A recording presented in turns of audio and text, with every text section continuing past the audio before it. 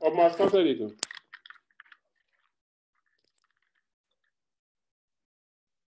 Eh?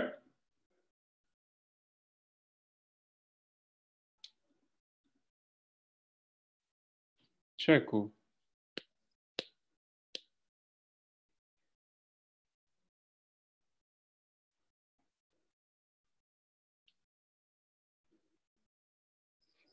Cancel and start again.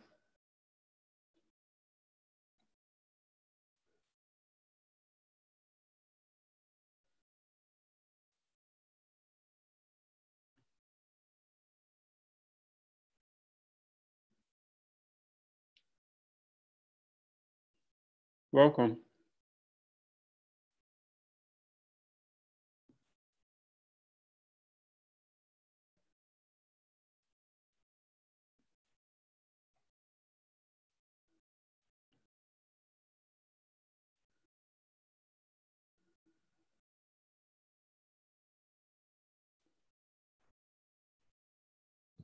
Hi.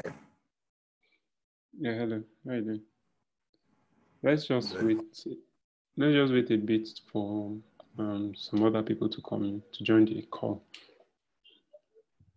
Okay.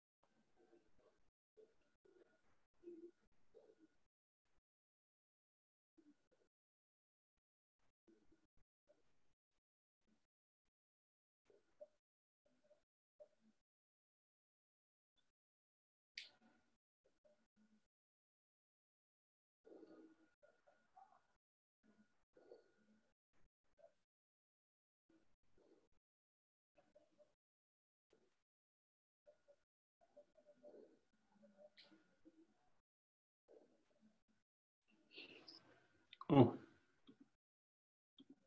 sorry. Okay. Stanley, can you hear me?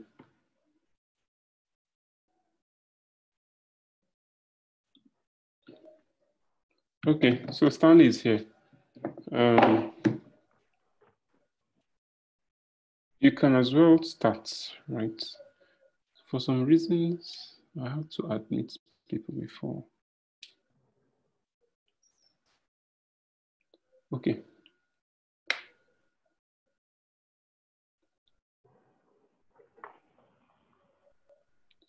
Stanley, you can start. Hello, can you hear me? Yeah. With like I don't have statistics of who's around. So Sorry? I don't have statistics of who's around. So is everyone ready? Or can everyone hear me? So it's you just have two of your um, students. uh, Oh hi, good afternoon, everyone.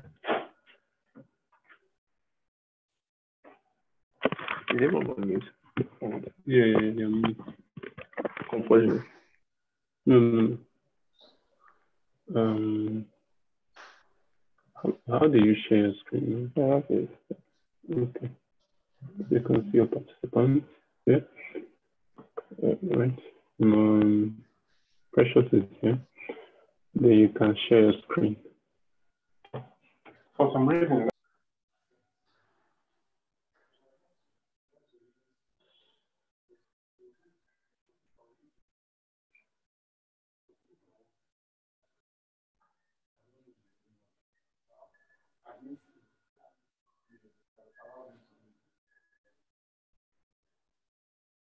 Just start, start.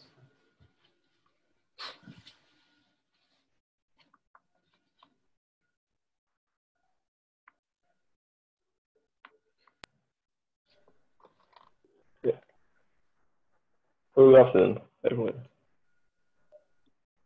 Uh, high Precious allow. Hi. Yeah. How is how is the self quarantine been? Yeah. Um, personally, I've been indoors. I've no, I don't go anywhere, so I guess it's been going fine. Oh, okay, okay, nice. And Sadiq is supposed to join us now, but I don't know why he hasn't come yet. I'll just check him. I'm coming.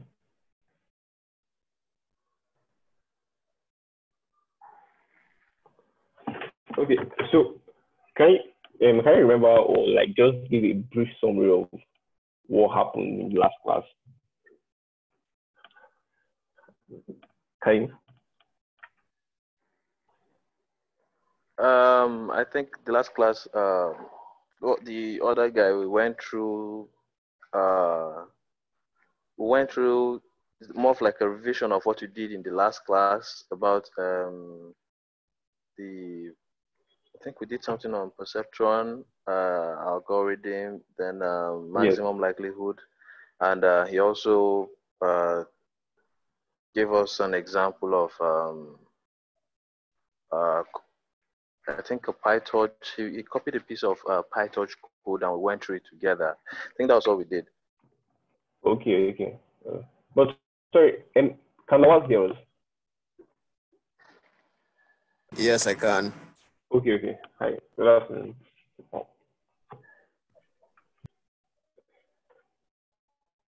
Okay. Yeah, okay, since I'll just like go straight to um, what we have to do here.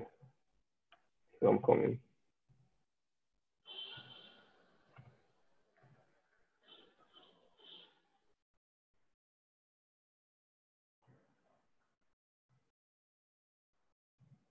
Um, yeah. Can you see my screen? Can you guys see my screen? Yeah. Yes, we can see your screen. Yes. Okay. So um, the notebooks I sent, I don't know if you saw it on group chat. So it basically just contains what Udacity used in their deep learning algorithm. So it's so some part of it, which um, is part of what I sent, is free actually. So you don't need to pay for it, and it's quite explanatory. So on your free time, you can just go and check it out. So somebody posted that link too on the group chat yesterday. That's last night. Okay, so I wrote I wrote a list of what um we do. So this is what I'm going to do today. So I'm going to like talk about some neural network um, algorithms, some some things to take note of when training neural network. So their applications are important. Then we'll do uh, okay, not from scratch actually. We do both the forward propagation and backward propagation and back propagation rather um, of a neural network using PyTorch. Then we also do training. We also train in neural network, and we do an assignment. So that assignment is already part of the the zip file Sodiq sent. I don't know if you saw it. There's this Google Drive link he sent that contains the documents, or rather the notebooks that we use. Okay. Yeah, I, th- I saw the link, but um, I'm not sure. I've Yeah, you can check it out. Yes, Yeah, you can check it out. Okay, so this is just basically what we go through. So we go through the neural networks in PyTorch, train the neural network. There's this Fashion-MNIST. that we also work on, then inference and validation. But I think I should use Google Colab instead of using my this thing. So Coming. So just give me a minute. Okay.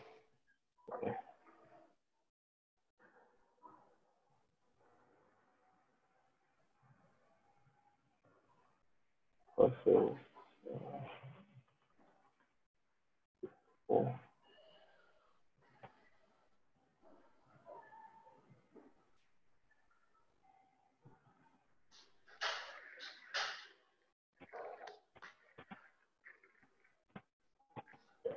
Okay, I'm coming. I'm using it. So I would prefer if we use Google Colab for it instead of using this.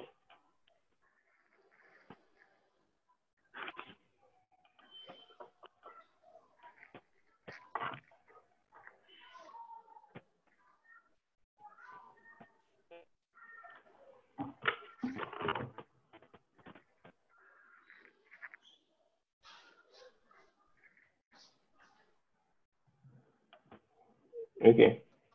Can you see it now?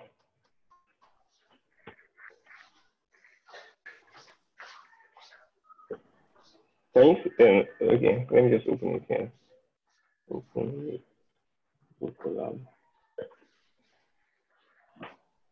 Okay, so you exported the uh, Jupyter notebooks to your um, to your drive, then you open it with Colab.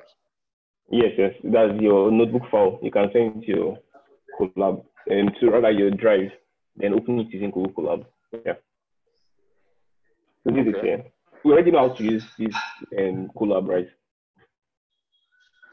Yes, you went through it the last So, time. so the first thing is like to set the runtime. Okay, it's already set on GPU, so we're fine. So I'll just run it now.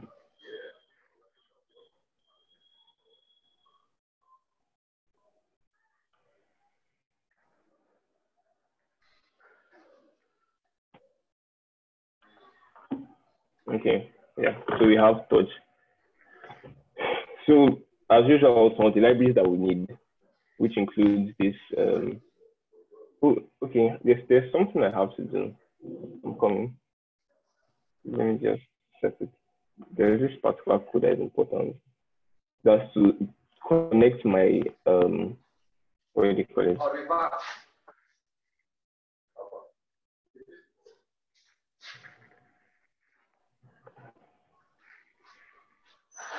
Copy to cell. So, yeah, so what I want to do now is that I want to mount my drive so I can just read those files directly from my Google Drive. Okay. Okay, so I'm coming.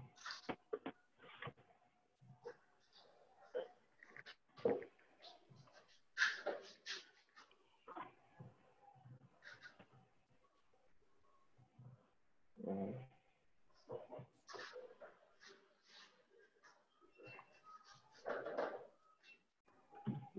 four, Okay.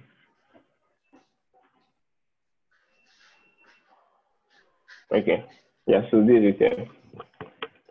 So what I just did basically is to be able to read um, my drive files or my drive content here. So generally when you load Colab, it creates this um, directory.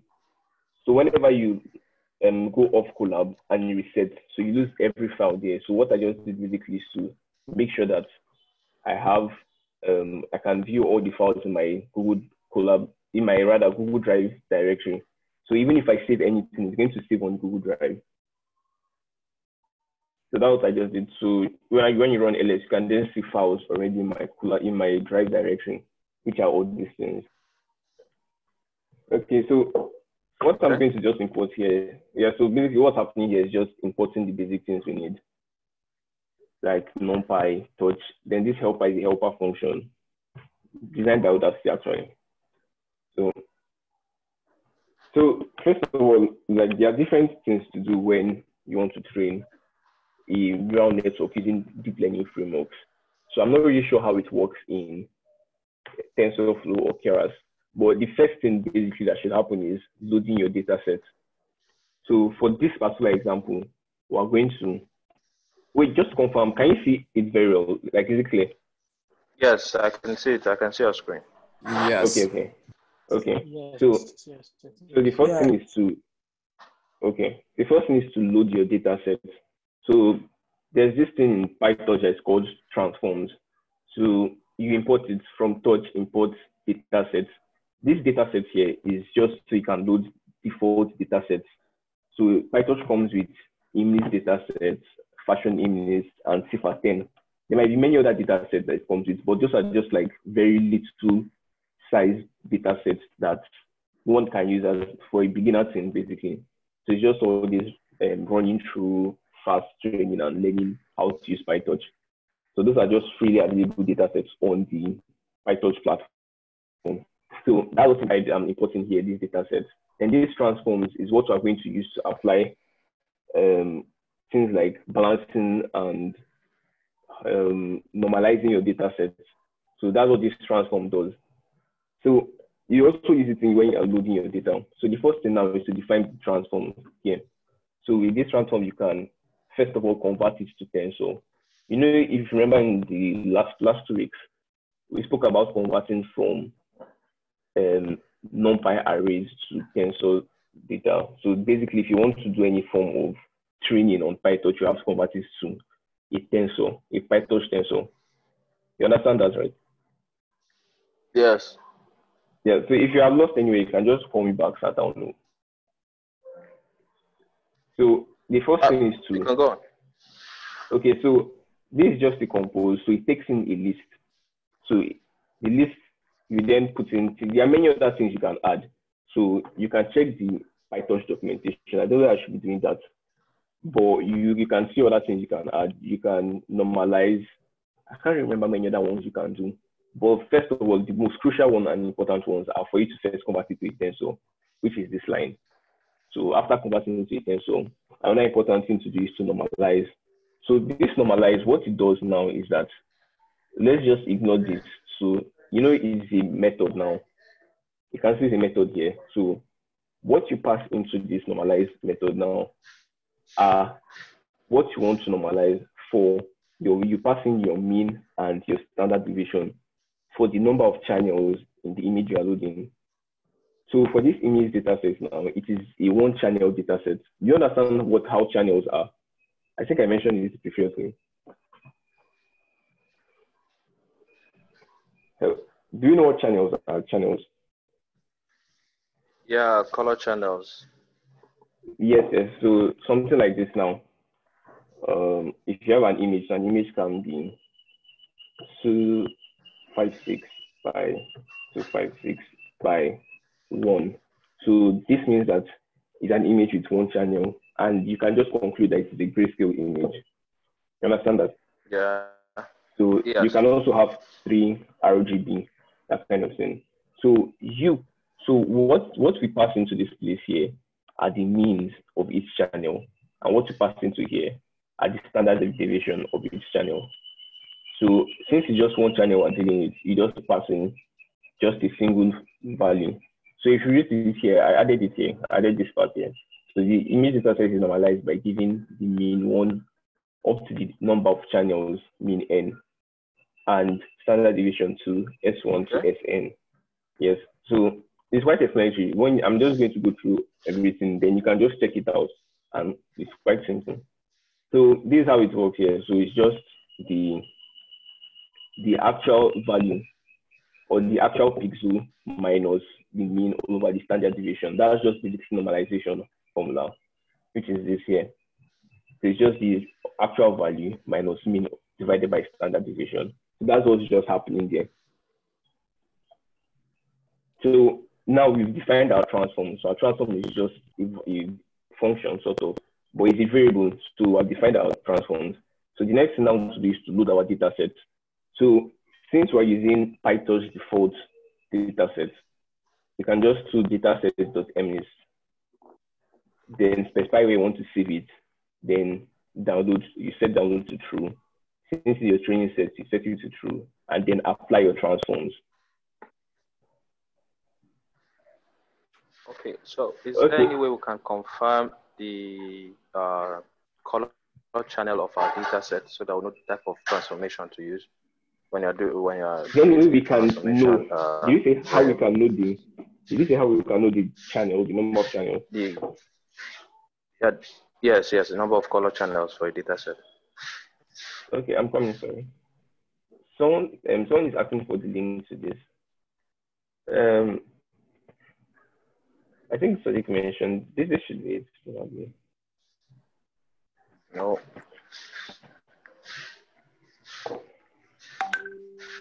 Okay. He didn't send this. Okay, um, you know what happened? Sorry. Oh, shit.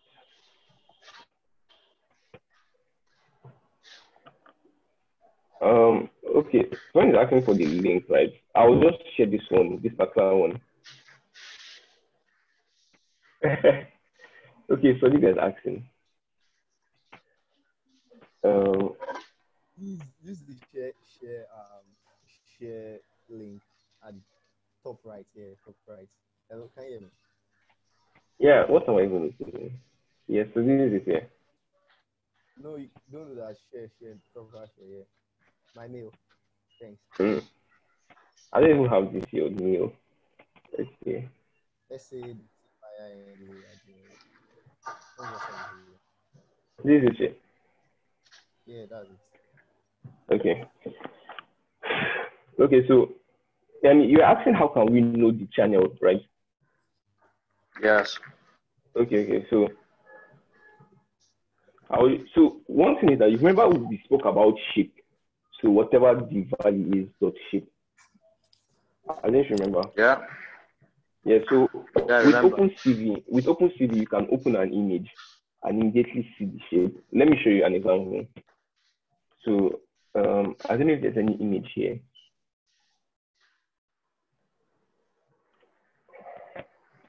Okay, so there are images in this place here. So you can try it out. So, so then, um,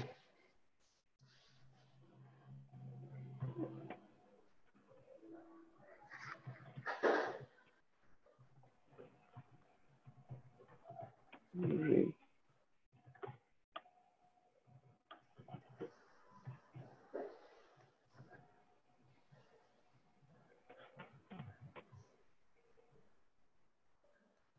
Ah, c'est une triple,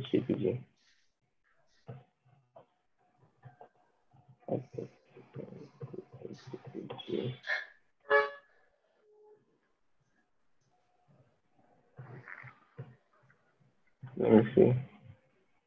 Okay, wow, this is taking quite a lot of time. This particular one. Hmm. I expected this to download faster. Maybe you should use the test data set instead of train. That should be faster. That's like 10,000. Okay, okay. Okay. That's Like just set train to false. Like train is false. So that would okay. Okay, but I'll come back to that. So again, so yeah, this is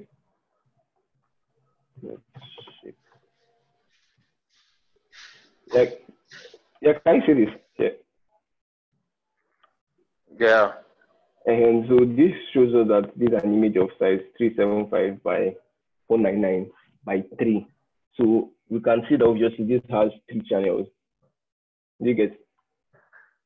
Yeah. Okay. Yeah. So that's how you can check it. Let me try this. Hmm? Okay. Uh, let me see.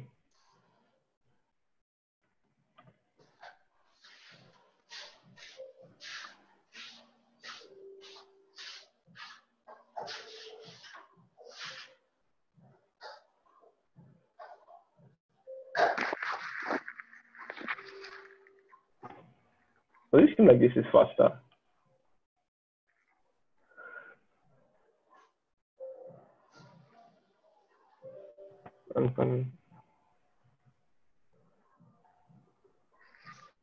Oh.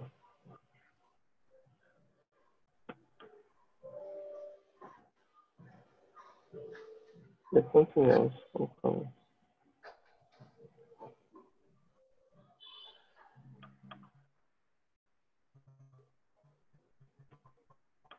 Ah.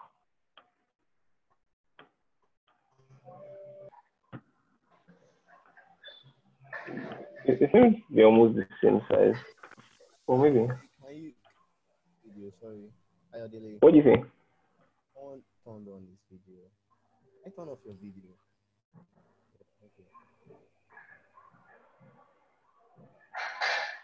So okay, while this thing is still downloading, let me just go through all the things again. So, so now for this part now, so since I'm not going to be doing the whole training or the full training, okay, no, no, no, no, yeah, we are, we are not done with this. So this this particular code downloads the data set. This particular one, so we're going to download from Python's um, default data set, which is the image one. So once this gets downloaded, we have our data sets in this train set. So the next thing to do is to put it in a data loader. So the way Python's data loader is designed is that your data set is split and split into batches. So here you then specify the batch size. So specifying it as 64 means that it will load 64 images per batch. So if you have a like certain number of images, it will split it. And so it's more like, let's say if you have a thousand, it is split it into 64. So you then have a, load, um, a loaded data set, something like this. It will then be 64 by the total size. Let me just use this guys here. So this would be your new dimension, something like this. So for each batch now, in your data loader, you have 64 images of these specifications or this dimension. So there's this technique, and there's this reason why they do it, so that um, I think it's because of yeah, stochastic, um, stochastic gradient descent. I think that's one that's why it's applicable. So the whole point is so that you can have different starting points and shuffle your images. So that's why they use this particular technique. So you don't have to train on the whole data set immediately. So if you have quite a very large number of um, images in your data set, you won't have to train through each of them at the at a particular point in time. So you can split it and train for different batches as it keeps shuffling, that kind of thing. So that's what this data loader helps us do. So it helps us break our data set into batches. So this is taking too much time to load. But someone say something.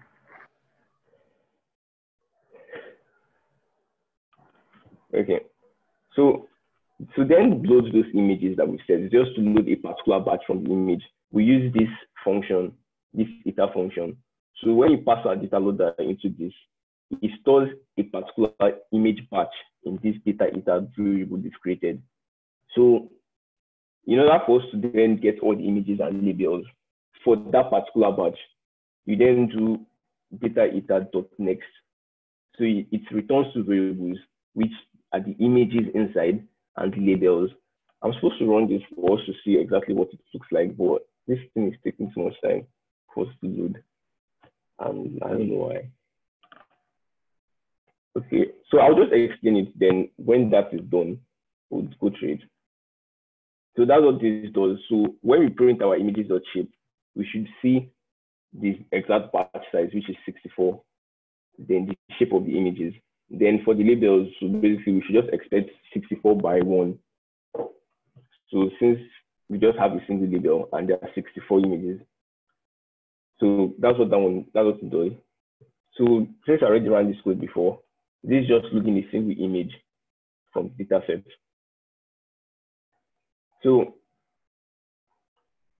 yeah, so just to do a feed forward um, example, which is what we already know how to do, even though we didn't do it with images as of that time. So since we're working with images, we should know what this function should do. Can anyone like just guess what was happening here? Remember, I've already spoke about this view function.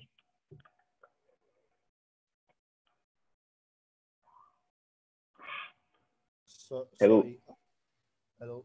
Is there anybody here? Yeah, I want Um, to confirm. I have any question, you can always send me a message on Zoom. So like I can state state it out to everyone, then probably say the answer. So if you have any question, just send me a message. Yeah, go ahead. So if you don't understand can- anything, Can you remember how to use this view function for? That was from last two classes.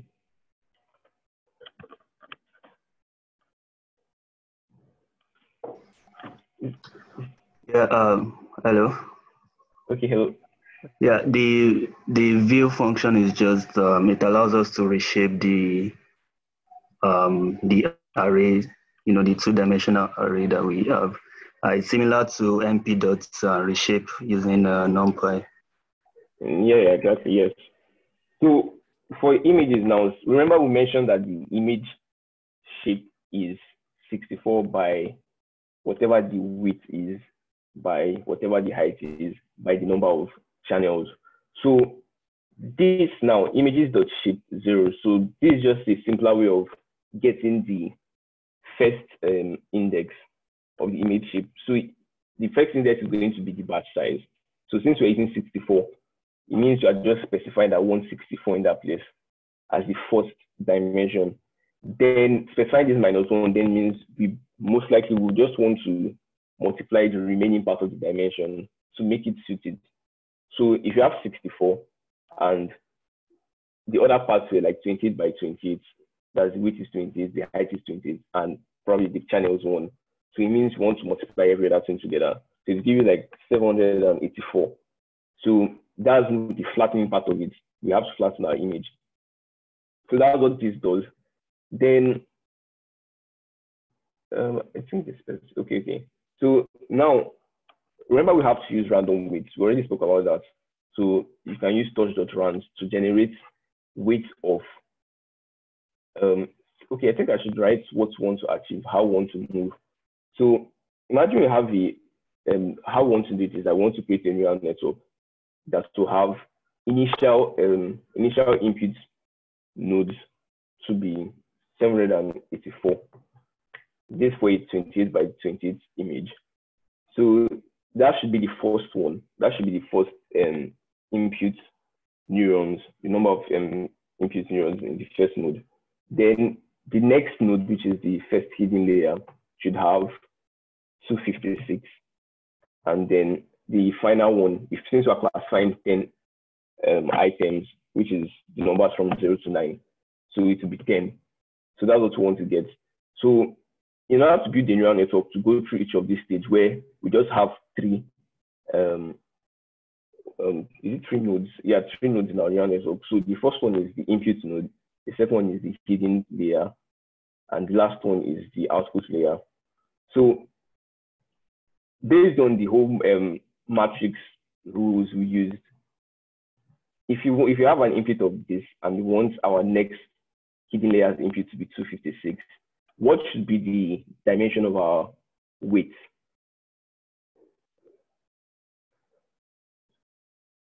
Can anyone tell us? This is something we've done before, so we should be able to know it.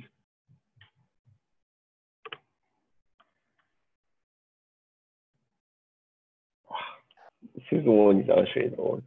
Hello, is anybody here? Hello.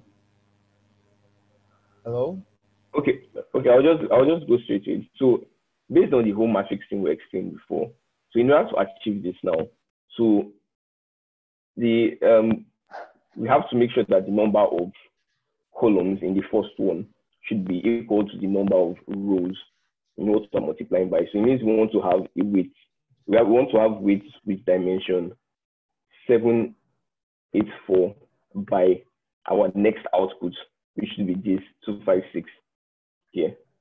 So if you look at it here, um, if you look at it here, so this is here.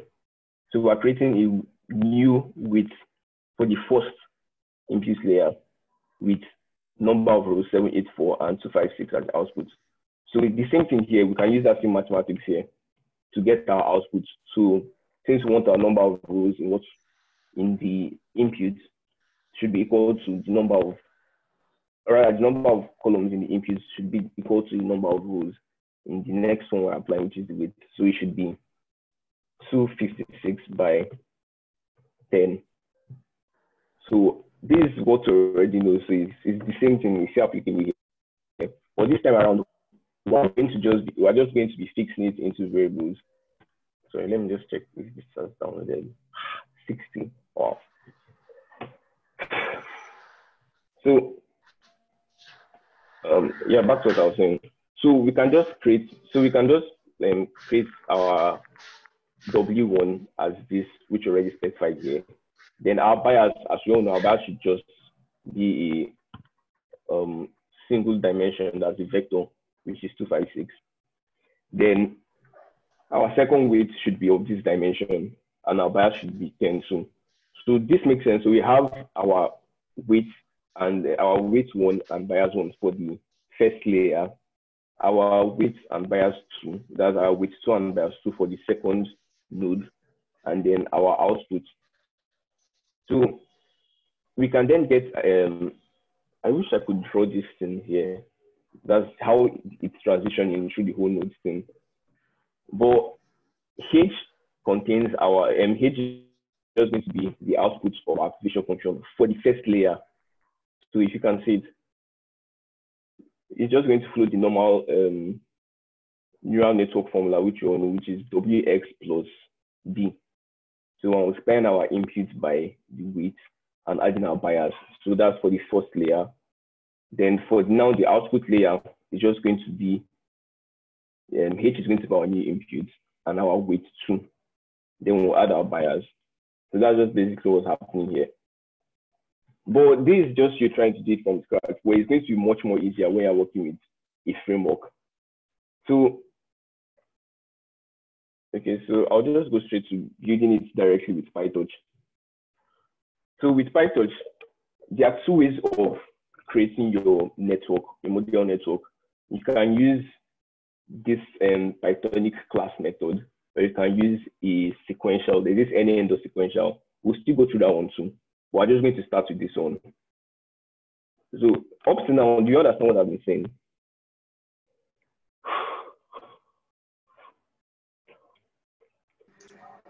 Yeah, yeah, we are. Yeah, I'm following. Okay, okay. Okay, thanks. So, so while we're not going to go through all those stresses that we went through initially. So what we're going to do now is just that we're going to be passing our variables so at this point, what we need to know is to understand how um, neural networks work, what we want to receive as outputs, as our inputs rather, and what we want to get in our um, layers, and then finally our outputs. So with Python generally, how you create classes are like this. You define the, the right class and the class name. So this is what we're passing. This is a, an input PyTorch function, which is this nn.module. So we imported it here. Then you define your init class, which is compulsory in Python. So all these ones are things that are Pythonic. So it not really have anything to do with the neural network itself. So this is just how you create a class in Python. So now to then do exactly what we did here, remember how we did it here from scratch was that we have to specify our W1, specify our B1, specify our W2, specify our B2, and then multiply them using um, this specify our activation function. Remember, we wrote an activation function here. So it's all saying something. Yes. Uh, yeah.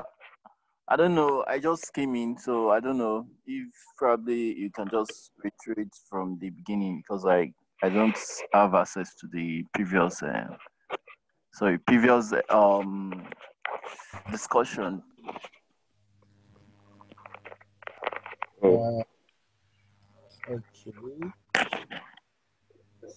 Uh, okay, okay. Actually, you've not really done much like that, but let me just do a brief summary of what you've done.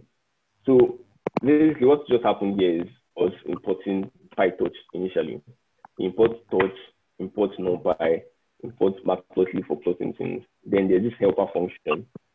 So it's also part of what is in the um, folder that we received. Then here is where we load our data sets. So first of all, when you're building a neural network, or rather not just building neural network, when you want to um, train a neural network for a particular project, you first need to import your data set. You could you could decide to design your model first, but just following it in the appropriate way, you have to load your data set. So this touch your transform, this PyTorch function transforms. So what it helps us do is to apply different types of transforms to our data set. So if you're working with images or any other thing, you have to convert it to a tensor, a PyTorch tensor. So those are variables that we can use, we can apply many of those unique framework functions such as um, gradients, um, access to the um, GPU usage and all. So you have to convert it to tensor. Then normalize is basically just normalizing your data set. So you pass your normalization factors. So these are just variables for you will be passing the ones for your mean and for your um, standard deviation. So it, it, you can just read it here. So I explain the how it works. This normalized function, I explain how it works here. You can just check it here. Then the next thing that happens is you um, loading your data set. So PyTorch by default comes. I hope this isn't finished downloading. Sorry.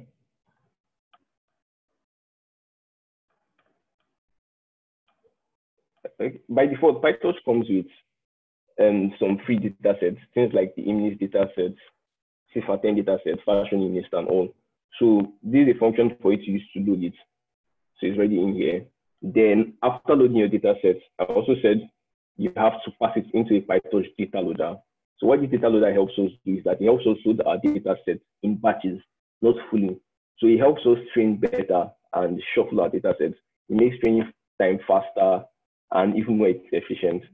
So instead of loading a full data set, if you have about a thousand um, images in a data set, it loads those that same 1,000 images, but this time around in batches of 64. So that's just it. Sorry, I think I want to load this because I didn't know why.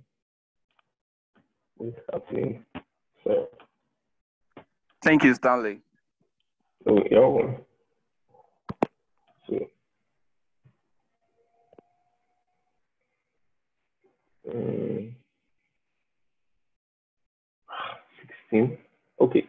Okay. Okay. So what I said was that we are still downloading data set that we use for this particular notebook. Then, um, okay, I'll still come back to this later. So what I explained here is just the basic thing that we already know how um, we load our data sets in neural networks, which is us specifying the weights for our inputs. So if you have an um, if you have a data set with image dimension 250 m 28 by 28 28 by 28 so we can equally call this 784 that's just converting to a single dimension. So that's multiplying 28 by 28 you have 784 so this function here is what we already discussed about. So what this helps us do now is that after loading this data set okay i think that's done already. Ah. It is weird.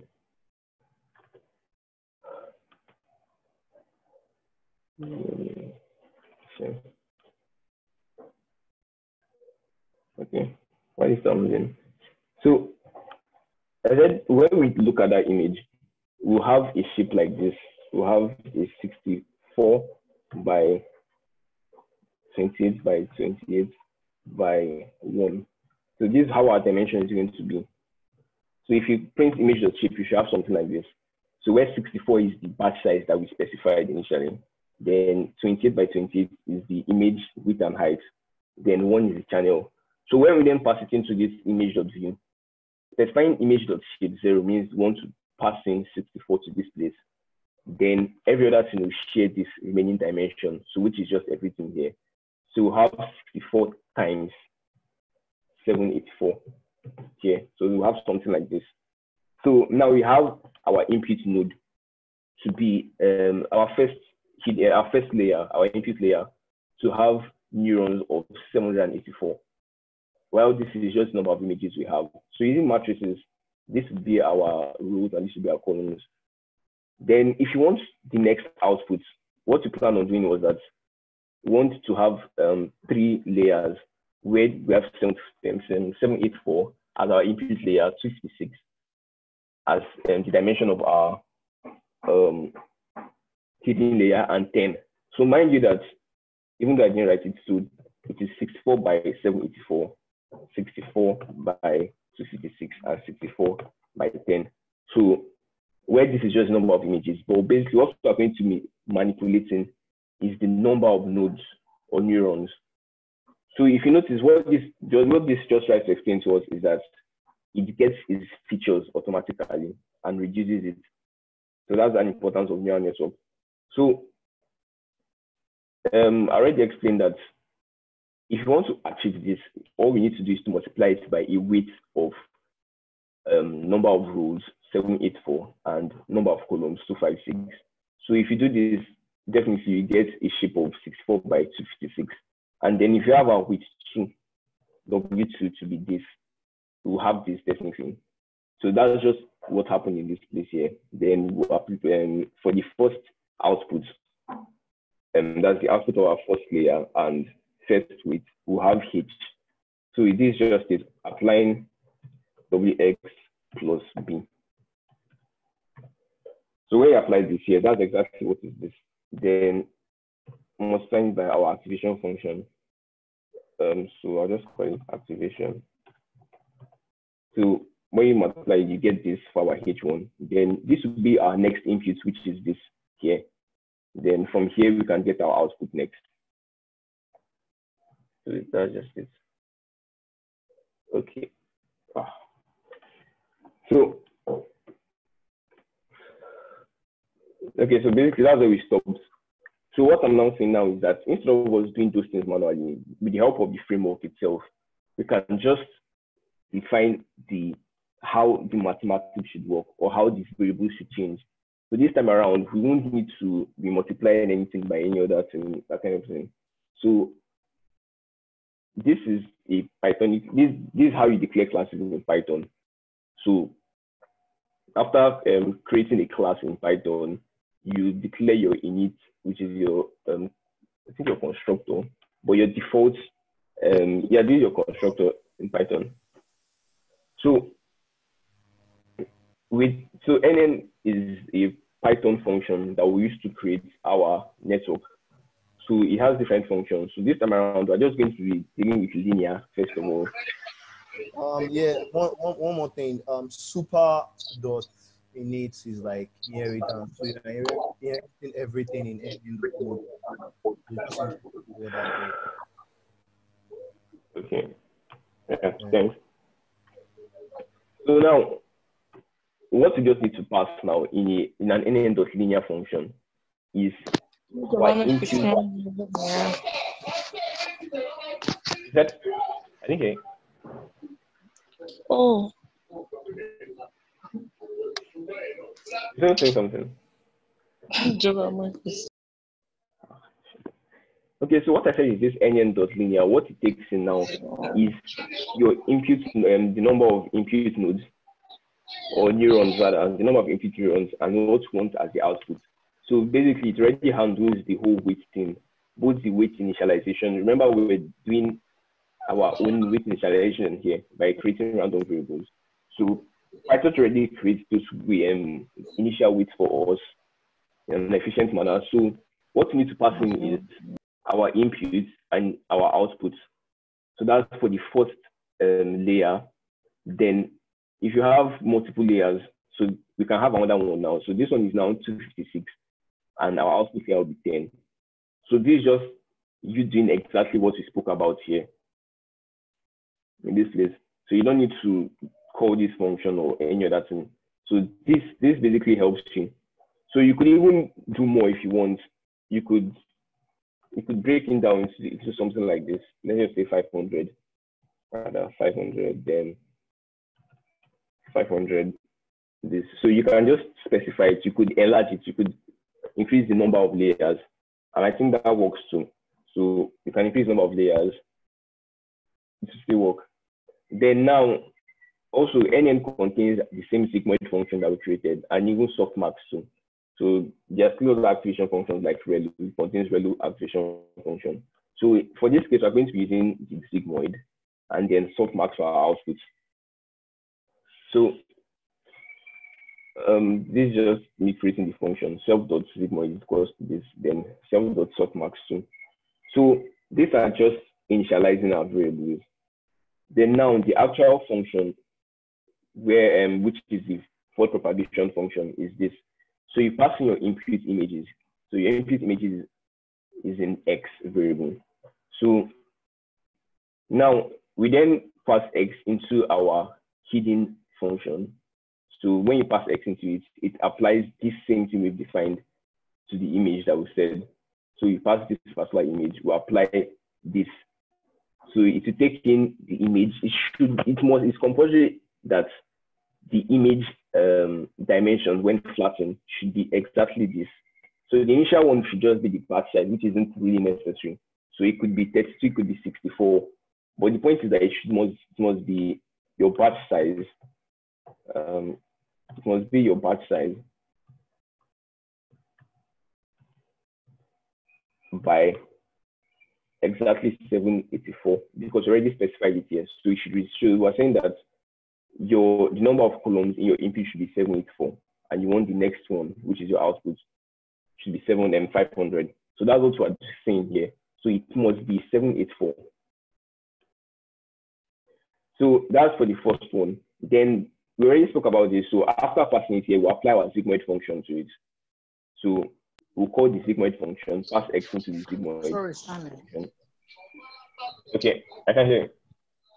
Um, you was, but I thought you said earlier like the batch size is meant to be 64. Oh, I, I said it's not compulsory. Remember back back then the loading, the data loading here. So Oh, okay. this is why I specified my batch size. So you could use any amount of batch size. You can even use two. Two means it loads two images per batch. But the whole point is that it completes the total number of data sets you have. So you could use 128, you could use 64, you could use 16. But it's best to use batch size in there are multiples of two. Uh, uh, or, yes, there are powers of two actually, not multiples of two. It's best to use ones that powers of two. So, so yeah, so this is what I was saying. So when you flatten your image, when you flatten your image, your image should be exactly like this. It should look something like this. S64 is the number of images that we have for that particular batch, and then the dimension, the flattened dimension. So, which is what we pass into this place. So that's just what I'm explaining here. So even though I'm using X here, so you first pass it into the first the first layer, which is an input layer. Yeah. You pass it into it, then apply the sigmoid function to it. I think I should call this one. Sorry, Stanley. Yeah. Hello? Must we use? Must we use? I you. Must we use what?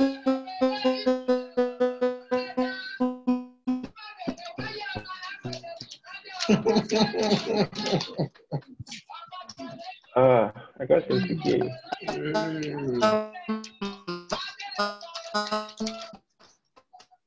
But you can you can send your question as it text. It's- uh, functions to activation. I, I just got I, just started you now. What did you say? Must we use two activation functions? Like instead of using sigmoid and softmax, can we use sigmoid all through? Um, you know the softmax now. I'm using softmax only for the output. And for the No, you output, can we use sigmoid as well for the output? No, we can't. You know, remember I told you the difference between Sigmoid and Softmax. So what Sigmoid does is that Sigmoid just tells you um, what they call it. If if you have like two two um, classes now. Classes. So for each class, if you have if for each class now, sigmoid just tells you the probability of it being either one or zero. That's ranging from zero to one. So that's what it does basically. But it's not scaled. So softmax, what softmax does now is that softmax scales all your predictions, or rather all your classes. So if you have um, from class zero to nine, which is exactly what we're working with, number of classes in this particular image data set is nine. So what sigmoid, what softmax rather is going to help us do is that it's going to give us the probability of each of those classes with respect to one. So all of them should sum up to one. We're just telling the probability of each of them. Oh, okay. Yeah, so the thing is that if you use softmax whilst while building the network, let's just say within the input node and um, one of those hidden layers, rather within the input layer and hidden layers, if you use softmax there, it would affect um, our our model like terribly. It will affect it. So it won't give us it won't give us um, what we use to do backpropagation. It won't give us what the error looks like, that kind of thing. Okay, okay. Uh, so softmax is just best to be used at the output. only. So that's basically what's happening here. So if you have multiple inputs, something like this now, although I'm not saying that something like this. So we should be using things like Sigmoid at this point, but not softmax. We're at the output. Yep.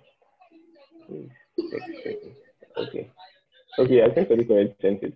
So softmax is for the classification itself. Okay. Sorry, let me check how far this has gone. Even though this is really taking a lot of time. So, um, so if we print this thing now, we'll have an idea of what our model should look like. So this is just going to be our real network itself. This class is created as a real network class. So, okay, this is just explanation. So when you print your model, you see something like this. So this just gives us a summary of what our model looks like. So we have our linear, so it's going to take in an image of 784 and give an output of 256. Then the next layer, which is our first hidden layer and only hidden layer, we take in 256 and output 10.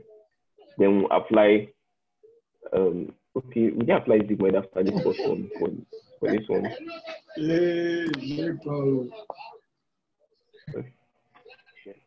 Um, after the first, okay, only after the first. So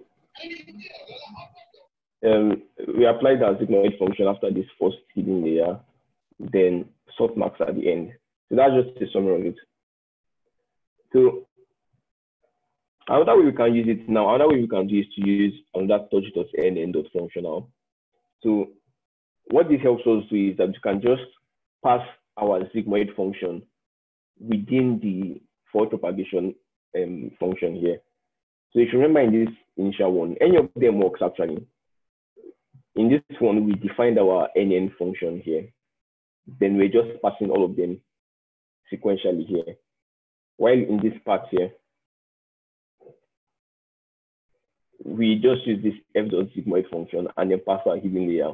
So it's basically the same thing actually. And if you, if you check out, you just realize that they are doing the same thing, but it's just different approach of, or different method of doing it. So this one is f.sigmoid. You pass in our hidden layer here. So this is the same one that we already spoke about. Initially, we're to do it, we're going to pass this first. Then after getting it, we'll put it in a variable like x. Then we then pass x again inside sigmoid. Or this time around, you can just pass everything within the sigmoid and it's going to give you the same thing. So maybe in your free time, you can just check it out and see that they're actually the same thing. So here, so um, I don't know. I should have explained something.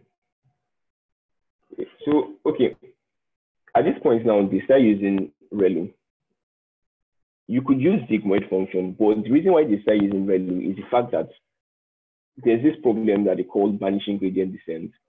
So what vanishing, what that does now, vanishing gradient descent, what it does is that during back propagation, generally, if you apply something like sigmoid function, so remember that sigmoid ranges from zero to one. So definitely, even if you pass high input values, it will squash it down to zero or one. That's within zero and one. So when you're finding derivatives of such for the backpropagation purpose, it will cause the gradient to be approaching zero.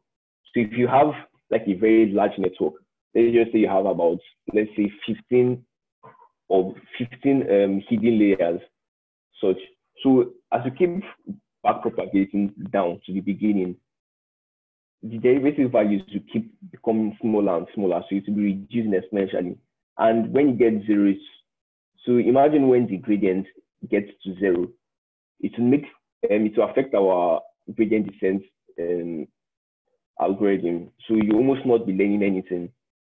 So that's what they call that gradient, um, vanishing gradient descent, where the gradient values approach zero, and it affects um, sigmoid functions specifically.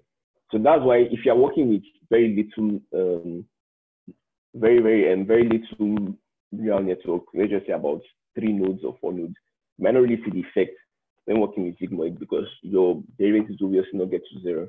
But when you're working with large networks, it begins to affect and mess up the network. So that's why they use um, stuff like ReLU, you can see ReLU here, or tanh. But in most cases, and um, based on experiments and tests, ReLU performs very well, even better than sigmoid. So it's best to use ReLU instead of sigmoid. So ReLU is a function already in PyTorch. So the same way we imported ReLU um, sigmoid here. Um, the sigmoid. On, okay, that was NN um, here. So the same way there was F dot sigmoid, we can just call the ReLU function too. So it's still the same procedure after doing our linear um, multiplication, which is that matmul, which that's what happens here. We then apply activation function. This time around, the activation function is ready. So that's it here. Then, like I said, PyTorch helps us initialize our weights and bias, so we don't to need to do it by ourselves. So they're already um, better ways. So I think it's a more um, efficient way. They already initialized it for us, so we don't need to do any initialization. So this is just like a test for it that they're trying to explain here. Then you can customize this to add your own. So this one just means you fill in it with zeros.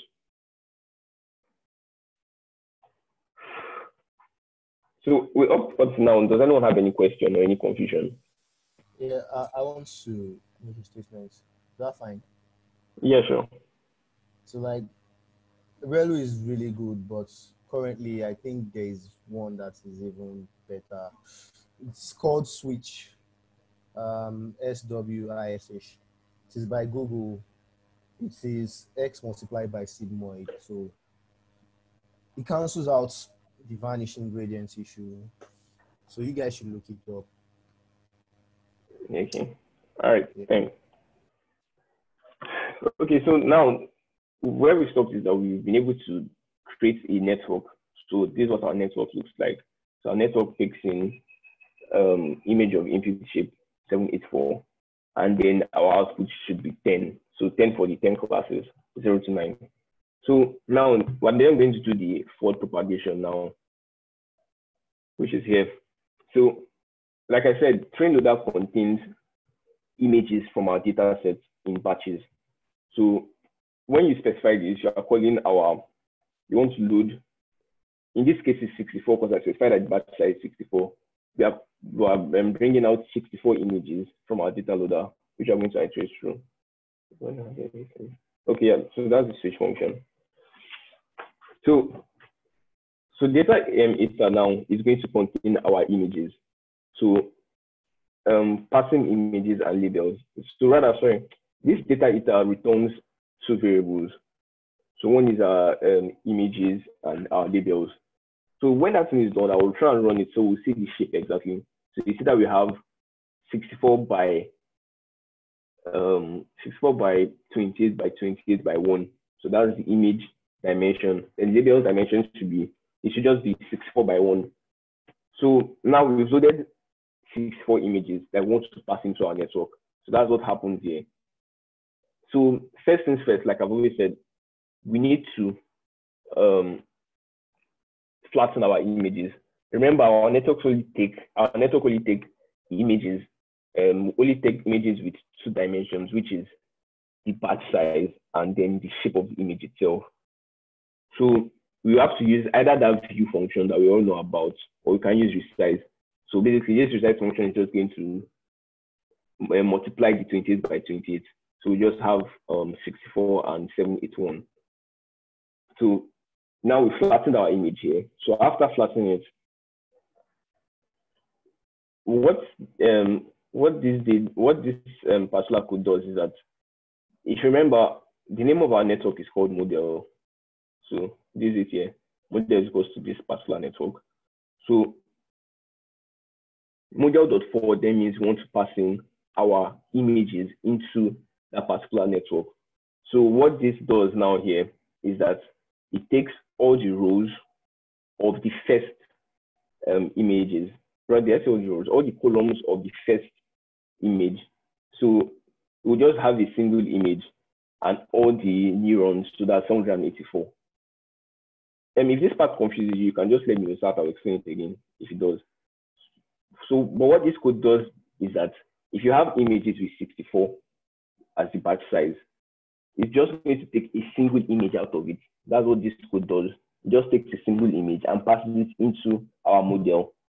So at the output, our output will be the predictions.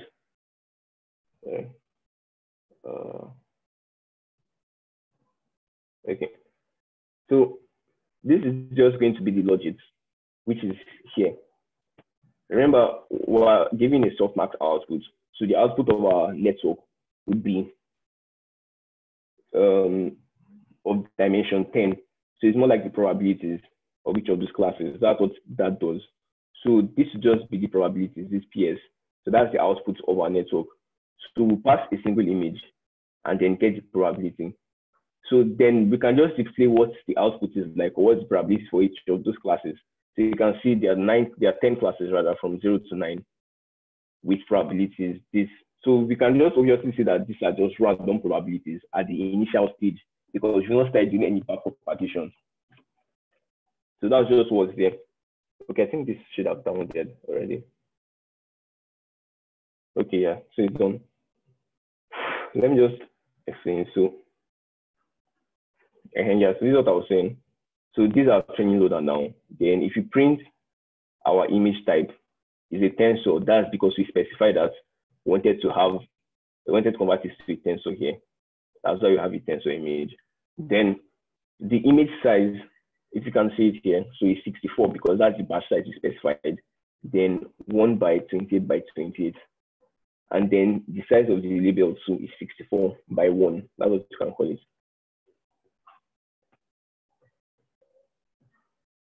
Okay, so this, um, okay.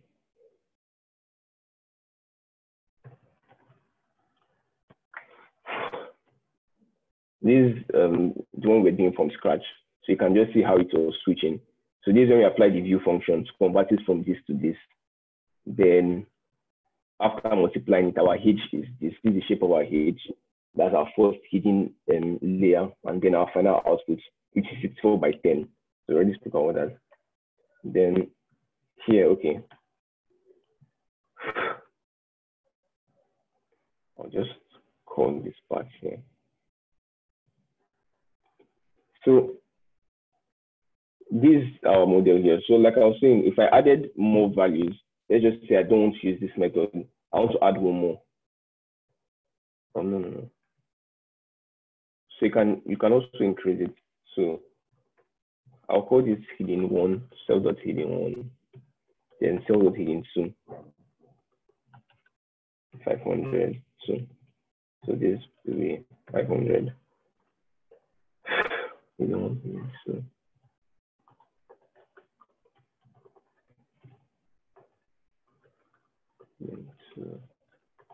So now this is just me adding more layers to our neural network.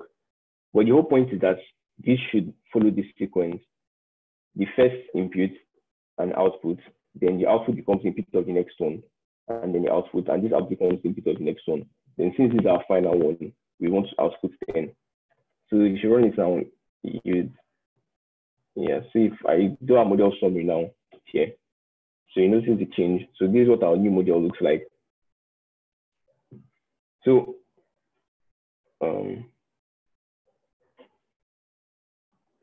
yeah, so I want to ask something.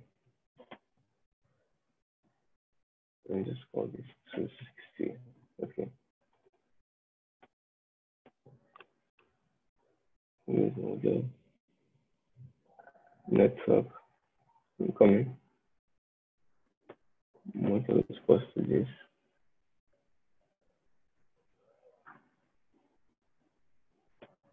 Okay. Uh-huh. Do, do anyone understand this particular error? Can anyone just try and like just explain what he thinks this error is?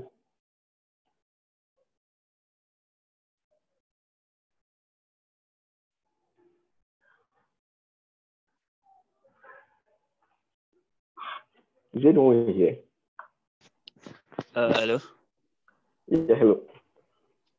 Yeah, so I think the um, number of rows in the second matrix is not the same as the number of columns in the first one.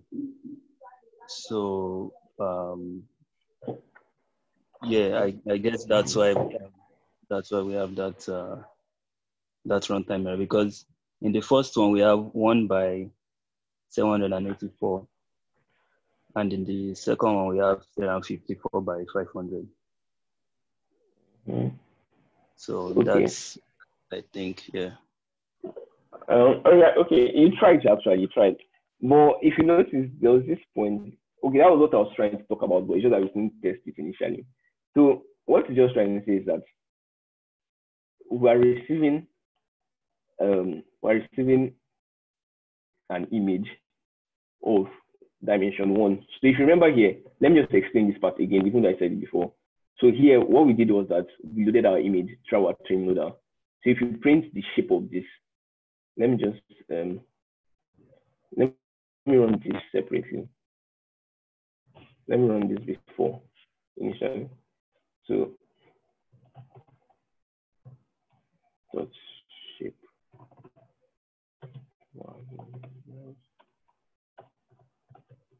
Shape. Print. Okay. So if you run this now, we can see that this is our input image. Then at this point, we resize it here. We resize it to 64 by 1 by 784. Then here now, this if you look at this um, at this point here, I'm coming. Sorry. Also run everything outside here, so I will say this then.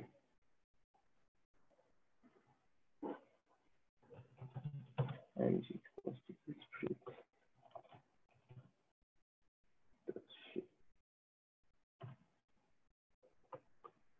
Okay. Images.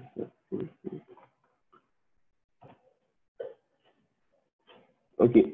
Yeah, can you see this now? This um one by seven eight four. That's exactly what we're talking about here. One by seven eight four. So what this code does now is that we already know how this one works. So this resizes to six four by two eight four and seven eight four. Then now this just means we're taking a single image from that particular batch. So when you take a single image from that particular batch, it just means the dimension will be one by seven eight four. So now we have an input image now, and we want to pass it into our model here. So this is our model network here. So they were passing this as our input, which is X now. So eh, earlier, I don't know, maybe nobody saw me, but probably some people saw still. But I changed it from 784 to 754. Yeah.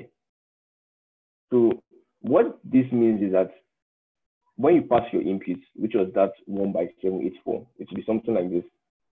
one comma seven eight four. Yeah, so this is what our input is. So when we pass this, this will be our x, our x dimensions. Then you pass it into the hidden layer, which is this. This hidden layer is expecting seven eight, um, rather seven five four, but this time around it's seven seven eight four, which is already the conflict. That is, that's why it can't work. So in, whenever we're building it, we have to specify the exact dimension of the image we are receiving. So that's what I also wanted to clarify here. So we have to specify the no exact one, which is 784, else it won't work. Okay, so if I correct that now and come back and run it here.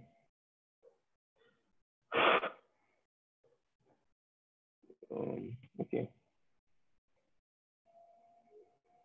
Okay, okay.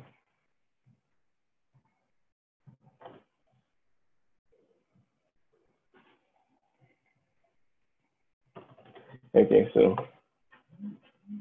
this will just be our, so the model hasn't learned anything. This is just the feed forward. So we're here to do back propagation. So the second method I mentioned, which is um, how you can load your model, is by using this NN sequential. So this NN sequential, what it does is that um, it just passes everything you want to use into this particular function or method. So initially what we want to receive is our input size and then our next linear size. So you just put any end of linear here, passing your input and then your next, what you call it? Your next hidden layer input, which is the same thing as what we did, but it's just the values you are going to pass in here. So our input is 784, and our hidden size, you need the zero index of it, which is this. So from 784 to 128 here, then we apply our activation function. This time around, this is red we're using. Then the next one, so the same thing. So you pass the same input, which is 128, and then the next one, which is 64. Then come back here, then 64, and then 10. So this one looks actually easier. You can use the sequential method, or you could use the other class method. So whichever one you want, both of them works. So it's still the same procedure. That kind of thing.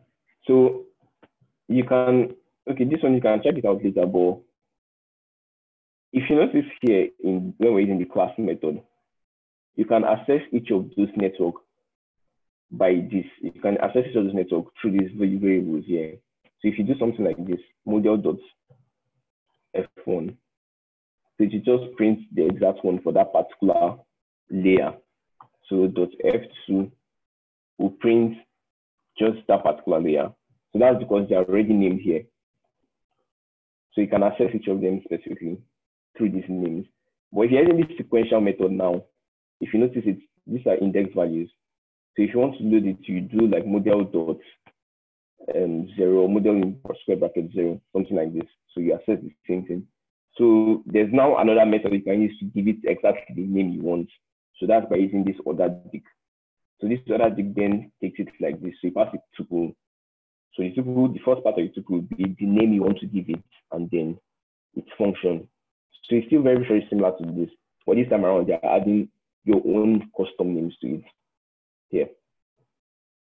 So that's how that works. Then that's for this part. I'm coming. Wait, do you want to go on the break or should continue?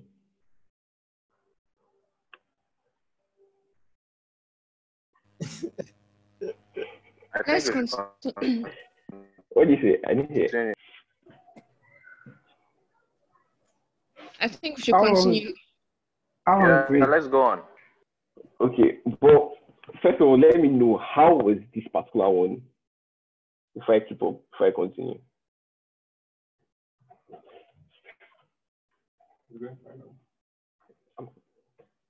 Feedback, feedback, feedback. I'm not saying anything like how how was it? Uh, uh, Mike, check, can you hear me? Yeah, we can hear you. Yeah, so uh, this part was pretty okay. Um, uh, you explained it well. Just to go back now and um, revise it to understand more. Um, right.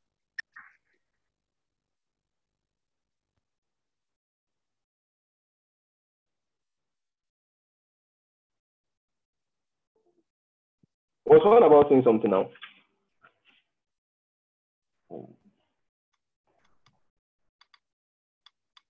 Hello. I think Sharon wanted to say something. Hello, did you get my point? Oh yeah, I I got yours. I got yours. Thanks. Okay. Okay, okay. Okay, so I think I'll just keep up. The thing is that in the notebook, in the links for the shared, I don't know if you've seen it, but I separated them into different IPython notebooks. But apparently, it seems like I'll have to keep on using this notebook. Instead, we'll have to spend time downloading the data set again. Because to be sincere, we still have about six more notebooks to go through. And I don't know how feasible that will be though. But let's just see how far we can go. So what I'll be doing now is to be copying and pasting the code here in this same notebook we've used for the next ones. So coming, let me just set it up.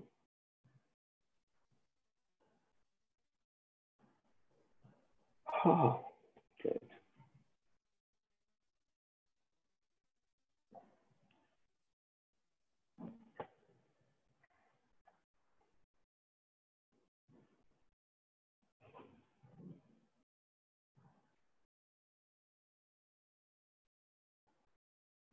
Okay. Yeah, can you see the string? No. Can you see the string? Hello. Yes, I can. Okay, okay, okay. So, so I'm just going to keep up with this notebook since we already have the data sets here. So, Sorry, I can't see the screen. oh, what can you see? You, you Blank, can't see the black. because your network. They'll just give it time. But can anyone Alright. see what I'm showing now? Training neural networks. Yes. Yes. Oh, I can oh, see it. Okay, okay, okay, okay. Yeah, to keep up with it now.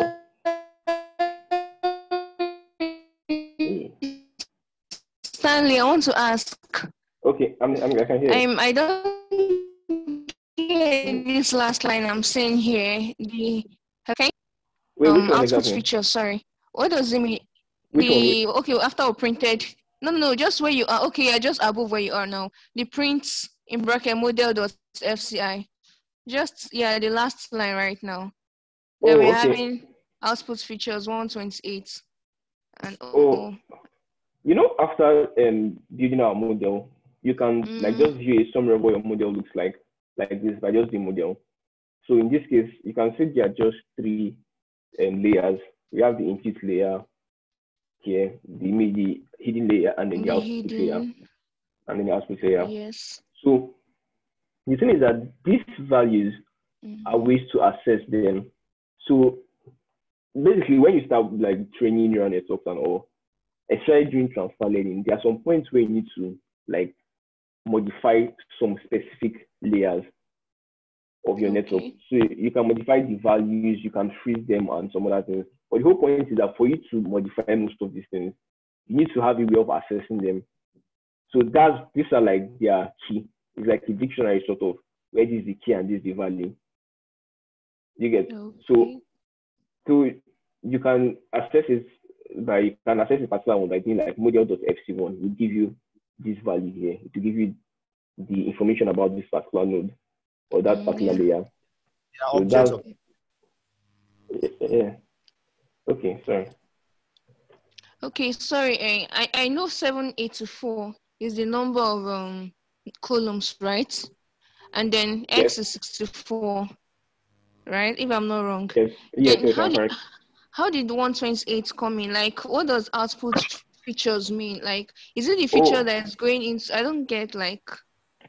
Um, I don't know. Is there anywhere? Is there anything? Okay, so let me see. Um, I don't know if there's anything. Okay, I'll just try this guy out. And so, um, imagine you have what do you call it now? Hmm, I'm bad at drawing. So, okay, just to get what you're saying again correctly. So, you want to get how that 128 came about. Oh, I think I can write it even. So imagine you have um 784 as our input. As our input column. Are you getting me? Yeah. Yes. So like I said, this one shouldn't matter. 64 by this 64 shouldn't really matter because we won't really need it. So if you have, if you have an input as something like this now, and then we want the next layer of our neural network. Remember I said the neural network is something like this. I don't have Yes. to drawing everything, but I know, I understand. Yes, so it can be reduced you know, until we get to our final one. So Yeah. these are input layer, our middle layer, and that's our hidden layer, and then our output layer. Okay. So now this is our first input. Mm-hmm. When we're done with this, this becomes another input Yes. until we get to our final one there. Something, something. So the, that's just basically what is happening here. So this would be the shape of our next input. Which would be Okay, like okay, this. okay, okay. Okay. So yeah, so in order to achieve that now, like I said, mathematically, we have to use a weight um, weight matrix of seven eight four Mhm. by one twenty eight. So if you do this, if you multiply this, you definitely have your next input. Uh, should be- 64 by 128. Well, exactly. Yeah, exactly. So that's what. I, so this time around, I'm not going to be doing all these mathematics. I'm not going to be passing the values itself. We want to pass that. We want our first input to be this.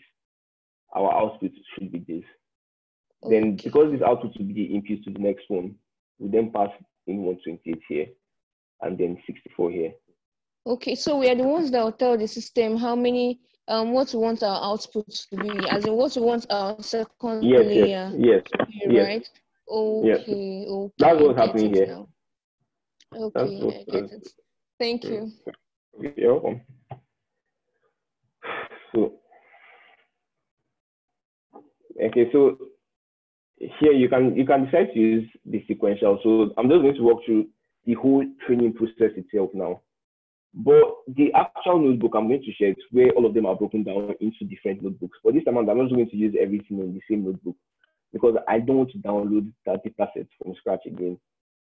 So this is it now. So we want to, we we're expecting our inputs, which is 784, like we already know, and we shall build a network of three layers and then pass 10 as our output. So now we already explained the feed forward part of it here. So this is the feed forward, where you pass in your data sets, you pass in your image into your model.forward. So you are passing our image into our network. Then our network passes it, do does forward propagation, and then gives an output, which is the probability. This probability is because we use softmax. That's why we're having, that's why we can fit it for these ones. So now we now want to do back propagation now. So which is now what we're going to talk about in this part. So now these are model, our network. So if you remember, we spoke about um, cross entropy loss, where we spoke about the maximum likelihood. From the maximum likelihood, we spoke about um, taking the log instead of multiplying them. So we can have addition instead of multiplication.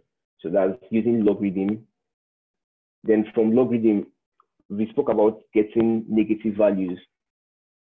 So when you get negative, you know, when you find the log of such, you have negative values. Log of a sigmoid function will give you negative values. Because one already, log one is zero. So anything less than one will give you negative values. So we then found negative log. So all those things are just things that helped build the cross entropy loss um, formula. So that's what I'm going to use here. So you can just call it as a function instead of doing the whole mathematics yourself. So by doing NN dot um, cross entropy loss, we're specifying the loss we're going to use to judge our um, model, our model output probabilities. So we can call this criterion. So I've defined our loss. So now we then repeat the same process we've been doing, which is forward propagation.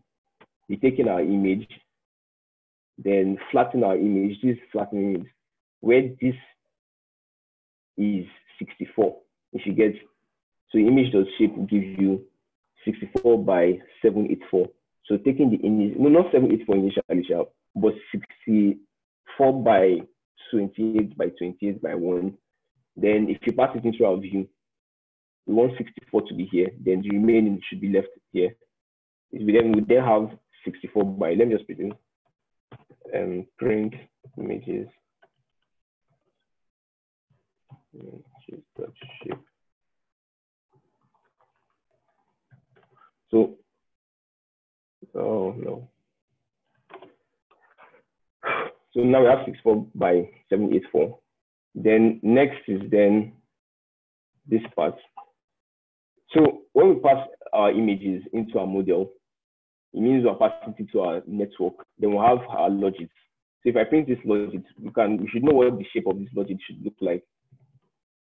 So it should be 64 by um, 10. Print this what it does shape. If I do this now, uh, sorry. So definitely this is what we should get because from our model, this is what to build. So we have 64 by 10, which are the logits. So now this then helps us, um, this criterion function is then our cross entropy loss function. So that's what we then use to know how bad our model is behaving. So we have our labels here. You pass in our labels and passing the um, our model, what our model is bringing out, which is the logit this time around. So at this point, we cannot, we are not going to use softmax because softmax can, like, it will affect it. So that's our using softmax here. So we're going to compare our model, um, the output of our model with the actual labels, so we can get the loss, which we use for backpropagation. So this is the loss here. So at this point now, we can then perform backpropagation because we now have a loss, a loss function. You know, we already spoke about this loss function and how important it is when we are then working with gradient descent. So, okay. Then for this part now, this grad function here, we also spoke about the whole gradient thing. So how PyTorch helps how um, PyTorch keeps track of each part of our network. So for each layer of our neural net now, as we keep forward propagating and all, PyTorch stores the gradient for each variables or each of those weights so that when we then get our fight, so our final output layer, we can then back backpropagate using the gradients. So we can finally update it, we'll update those weights. So in the notebook, I explained the whole um, grad thing, but I'm just going to go straight to how it works. So, um,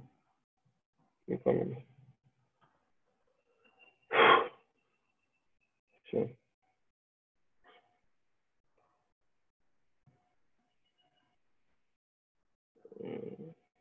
No.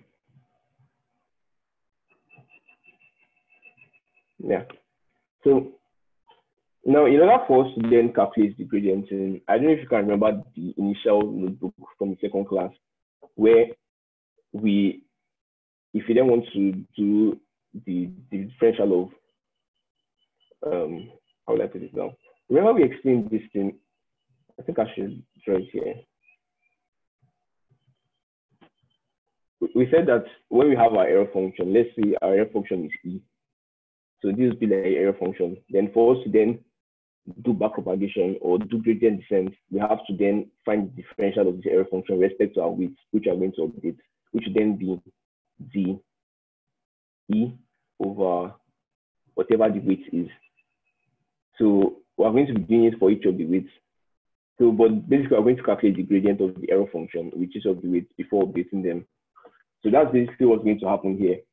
So when you say loss of backward, because this loss is at the top is at the topmost of our um, neural net, we're now going to backpropagate using this. So this will now be calculating the gradient for each of the weights from this point. So that's what happens when you do this dots dots backward. So if I run it here, so if you can see, there was no gradient initially.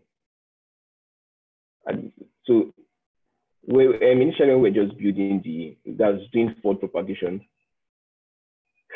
There was no weight.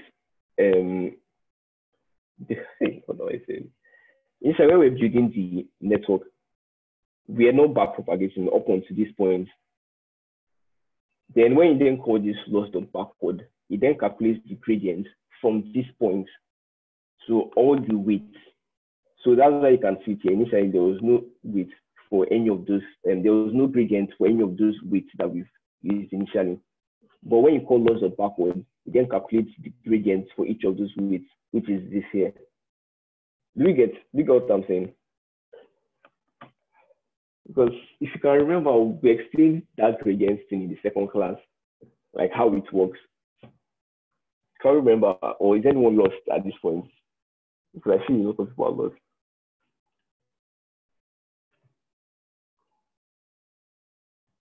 Do we get what happened? What's happening here? Yeah, I'm lost too. I I don't get this backward forward propagation. Like theoretically, can you just explain like what it means? Maybe I can understand with the codes. Like I don't know if you get my question. Okay, excellent. Okay, okay. I, so let me try and open that initial notebook we use. That's from I think week two. Introduction to Python. Yeah. Okay, so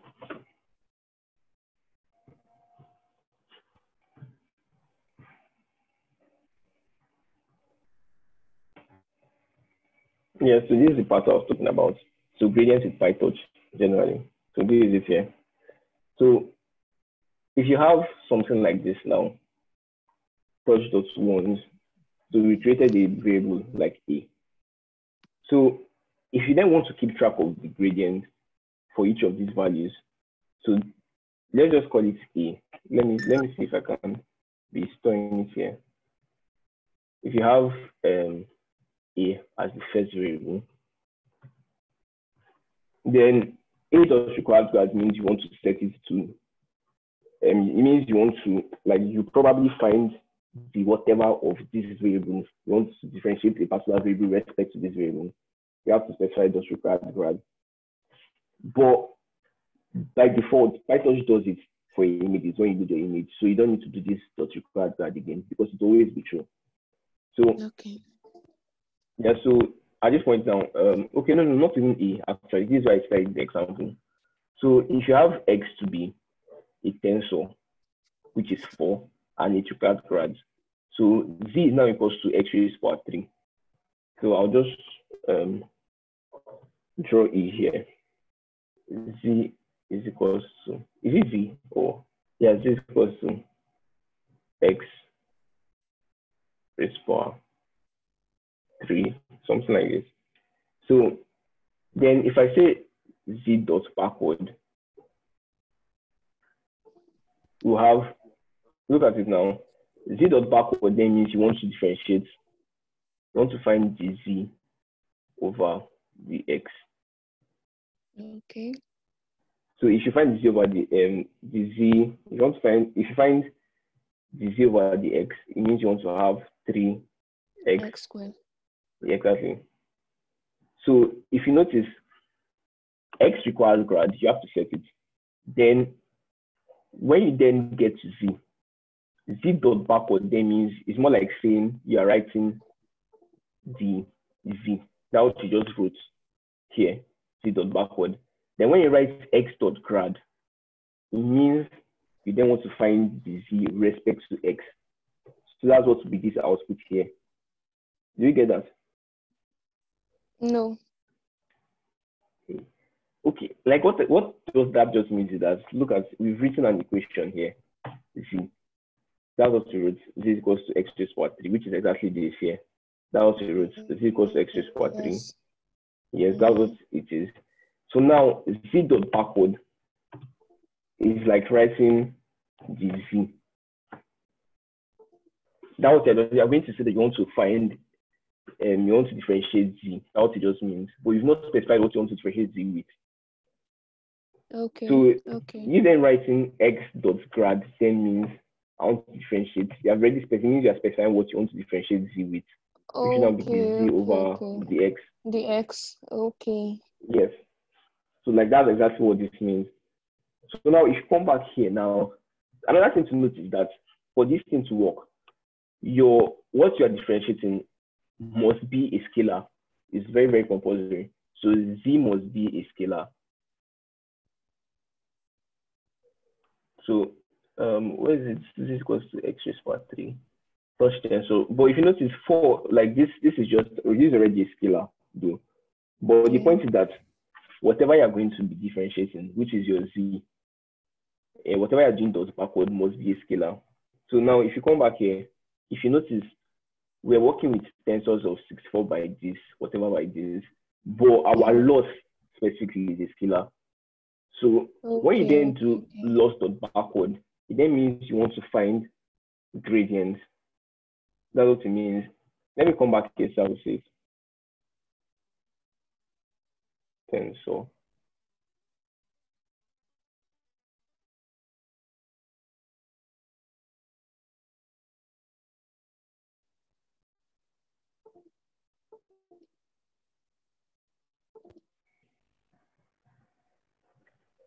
Um, let's print. Okay, okay. Um, see. Okay, but the, yeah, this is what strength is. is. Okay. You, okay, no, no, you cannot see it here. But basically, that's just this though. So z dot backward means you want to find the differential of it with respect to something. So x dot grad then means you are finding the with respect to x. So exactly the same thing that is happening here. So if you look at it now, um, at this point, model zero dot weight dot grad if you notice it, it was none at this point. You can easily relate this to this place here. If I do x dot grad, initially if I do z dot backward, print x dot grad, you can see it's saying none because I've not specified my d. I've not specified what I want to differentiate. That's why to give you none. So that's exactly what's happening here.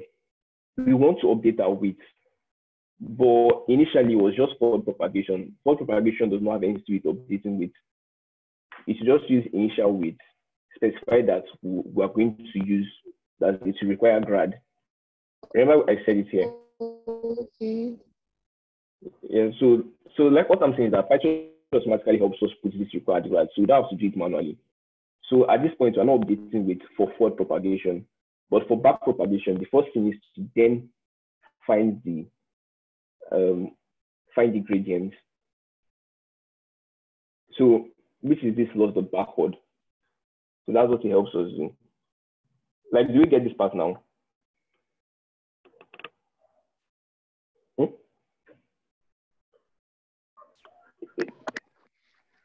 Yeah, I think. Okay, okay, okay. No problem. So now what what will happen now is that after this, we've then gotten the gradients for each of our weights. So if you can look at it now, you see that we've gotten the differential, that's the derivative of all our weights. So now that we've done that now, the next thing to then do is to then um, specify our optimizer. So you know gradient descent is, is what uses this thing. So you can then use gradient descent optimizer. So it's still a function in PyTorch.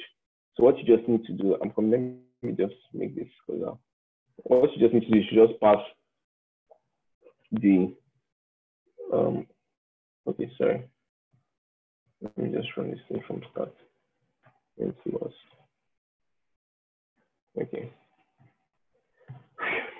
So now this is now the optimizer. So I'm going to be using stochastic gradient descent optimizer. So what you just need to do next is to just import the optimizer function from PyTorch and then specify the particular one you're using. So there are many times, if you check the documentation, you see many one, uh, many optimizers. There's Adam, Adams optimizer, there's Adam mode, there's stochastic gradient descent. Although in most cases, Adams perform better than stochastic gradient descent, but for this one, we're just going to use stochastic gradient descent optimizer. So this is just us specifying an optimizer. If I print optimizer, yeah. So this this is just um, what it contains. So what next for us to do now is to um, there's now what you call optimizer.step. So now what this does now is to then update our weights. So you remember what we just did in the last stage was to just get the derivatives. So now after getting those derivatives, we then want to use gradient descent, which is the stochastic gradient descent, to then update the weights. So even if you if you check the that second class notebook, the part of the files, how it works, that's just from scratch, the whole weight updating. But this time around, they're just going to be using functions. So optimizer does step updates the weight. So if you if I print it now, sorry, let me get the code for it. If I print the weight now, you see that it's different. Um, okay, I didn't print the weight initially. Sorry, instead of printing the grad, I'll just let me print it before I updated it. Yeah. Okay. Yeah. So this is the initial weight here of model one. So then after applying applying this optimizer step, you notice that oh, sure, hope I'm making any mistake. Um, sorry, I'm coming. Oh, I think I know. Okay, that leads to the next issue now. There's one thing that is important. Yeah, but I was still going to mention it. So there's one thing that we need to know is that when training for each epoch now, remember if you notice I've, I ran this code multiple times. So one thing that Python does is that it stores the gradient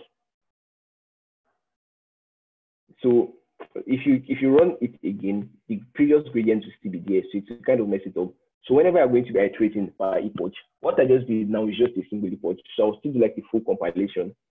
So I've been repeating with exactly the same gradients I used initially. So there's something, I think I'll add it to somewhere like here. Yeah, yeah. So what this does now is that it sets the gradient back to zero.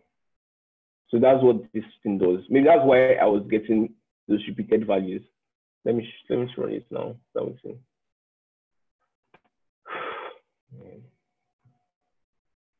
Yeah, so you get now. So what happened is that whenever we store those gradients and we run it, seems like there are too many codes here. Whenever you store those gradients and you run it, if you come back again in the next epoch and you don't clear that gradient, it use the previous one and then be getting the same values. So you always have to set this thing here. It's optimized to zero grad. So that's what helps you clear the gradient and then use for the next one, not the initial gradient. So that's just basically how it works. So at this point, the weights have been updated, but that's just for a single image that I've been working with. So I'll just copy and paste code now for a full training process now. I'll copy it down too. So, um,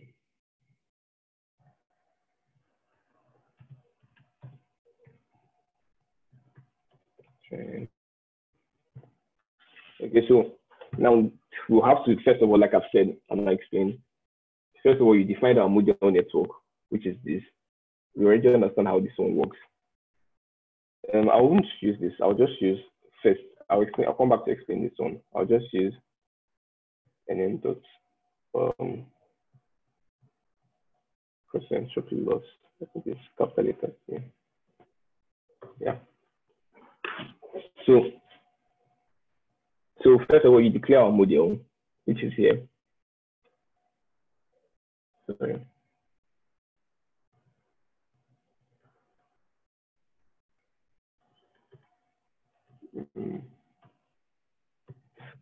So first of all, declare a model, which is this. The next thing for us to do is to then specify our loss function. So we're using cross entropy loss function here. We specify. Then after specifying this, we then specify our optimizer. So our optimizer is this um, stochastic gradient descent.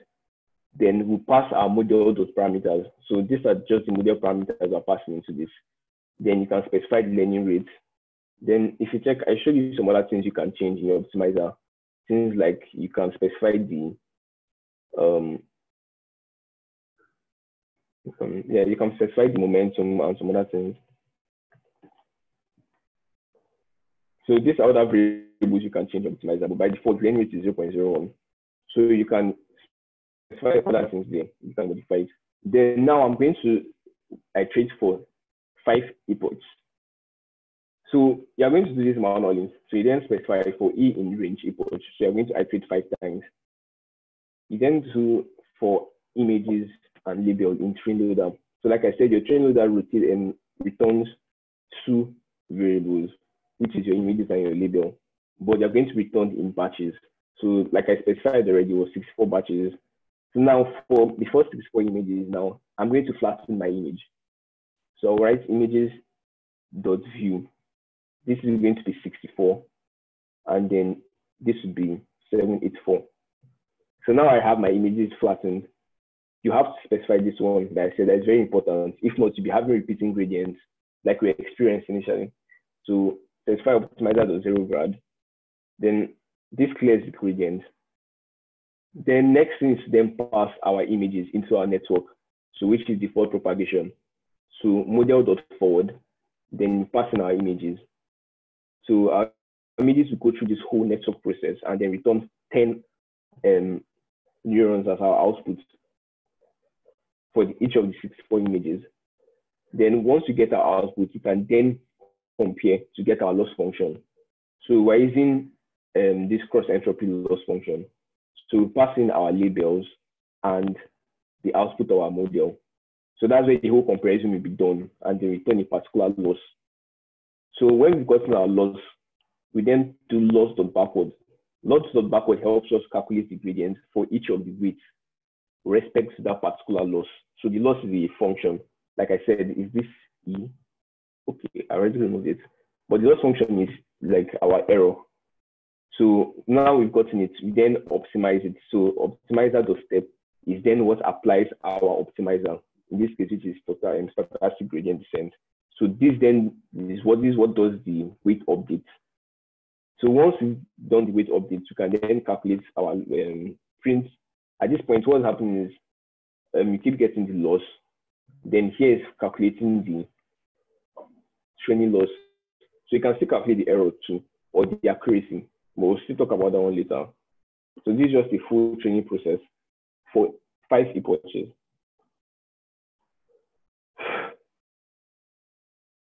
We notice that the loss is reducing. So does anyone have any question at all to ask?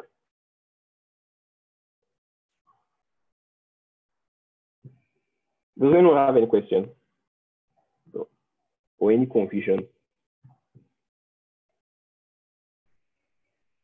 So Hello, okay. Stanley. Um, um, is there like a minimum loss we're meant to get when after training, a minimum loss. or it can be yes? Hmm. Okay, minimum, I'm they seeing don't um, one actually. training loss one point six five. So I want to know if if if it can be lower or maybe there's like a range that is acceptable. Yeah, it can be lower. Okay, there's something I will explain. That's just exactly after this part, so I will understand how this thing works.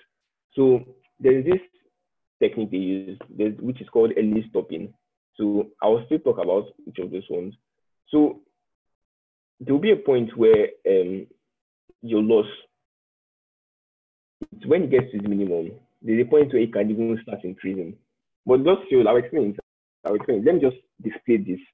So if you notice now, let me see, this is just for five epochs. Let me increase to 10. That also happens to the loss. The training loss specifically. So while that one is running, so you can then test it now to see how well your model is moving. So this is just me loading my test images. So um, if I print this, um, print images. So I'm printing images from my train, although it would better if there was a test too, but images dot shape. You, you notice that the loss reduced when I increase the number of epochs. Okay, so this is me loading just a single batch of image now.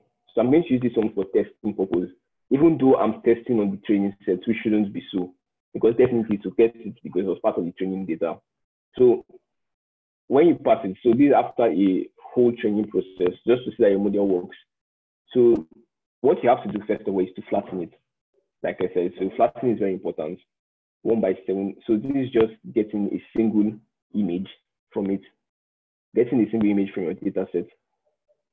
So I'm going to use this one as just a test. So which dot dot no grad. So this time around, what you just what this means now is that you want to turn off the gradient. So it won't calculate any you want to, you know, um, if you look at that notebook I explained here. So you know, if you notice when you say require grad equals to true. So this helps us keep track of the gradient for each variable, for each of those weights.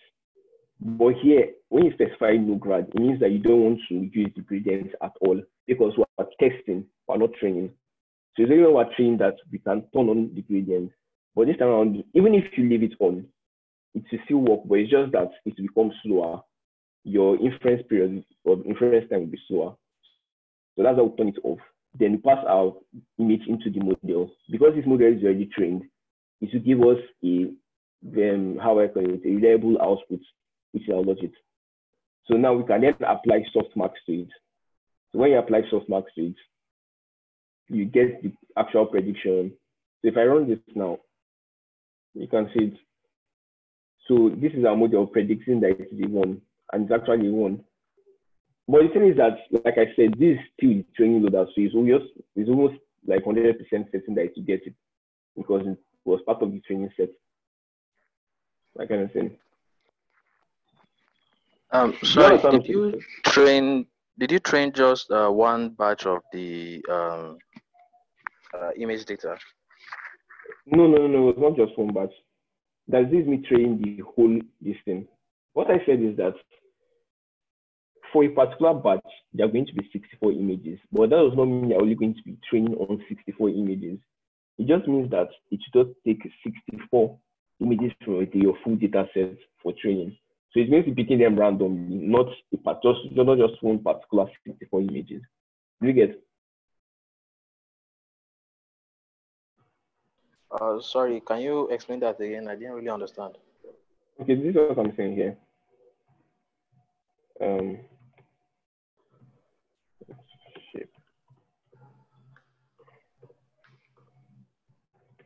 So look at this now. We have our training loader. The way the training loader is designed is that it should be releasing 64 of your full data set images for training for just a particular epoch. So for this single, for this first epoch now, it release 64 images. The next one again, it release 64. So you're going to be iterating through each of them. This full epoch is going to go through everything. It's going to go through all your um, data sets for this particular epoch. But what this does now, what this second for loop is for, is that it's going to be iterating through 64. It's going to be taking 64 images at a particular time. Like, you get? Uh, yeah, yeah, I understand now. Okay, let me translate again. So, number of epochs is how many times it will go through your full data set.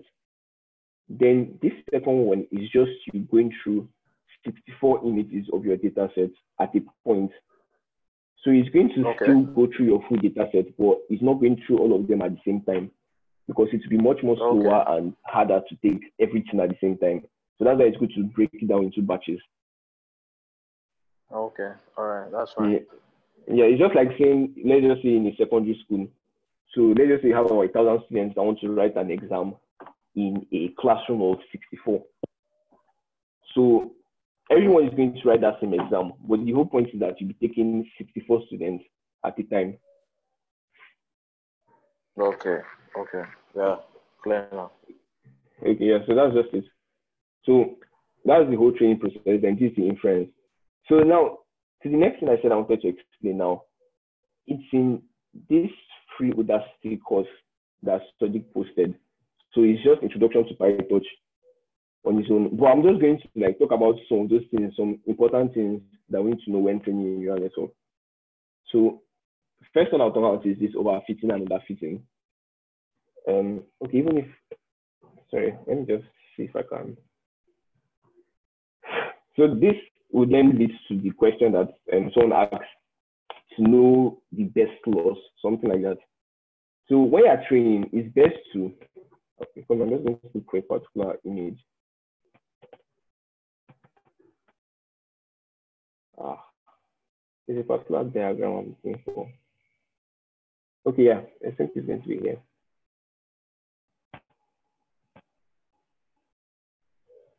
Mm-hmm, yeah, so this is what he was saying. So to know the best loss, it's not like you can actually know the exact best loss, but there is this model complexity graph. So what it helps us do is that first of all, we're going to split our data sets into training and test and validation.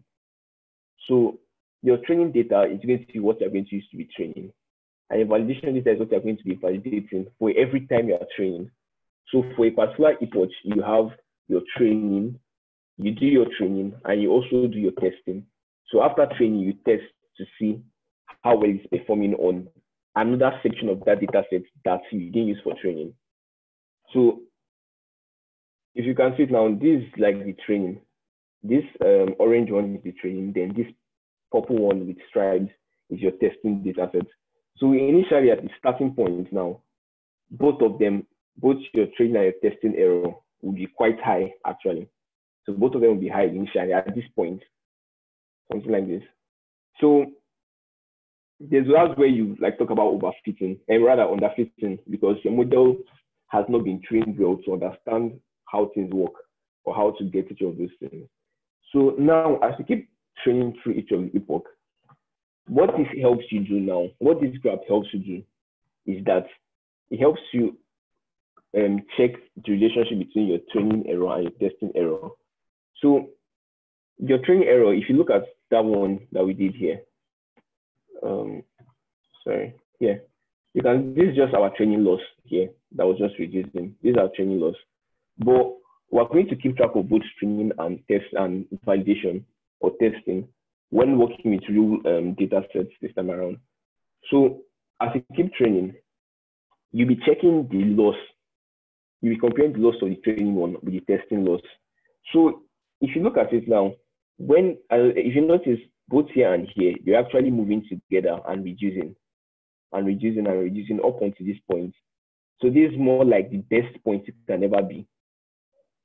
So your loss can be, um, if you look at this thing now, your training loss can be at this point. Imagine if you had a test um, loss also, let's just say written on this part of our code here.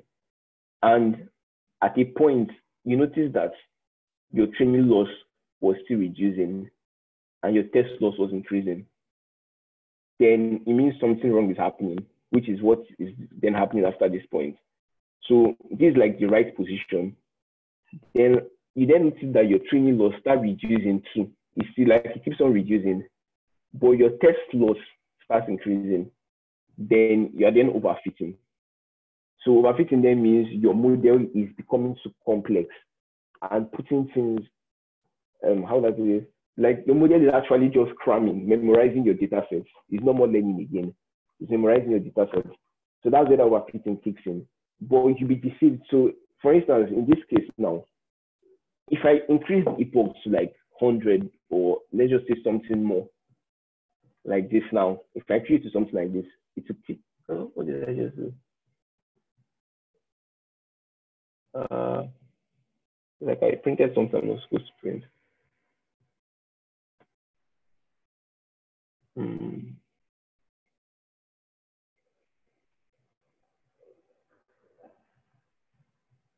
Sorry.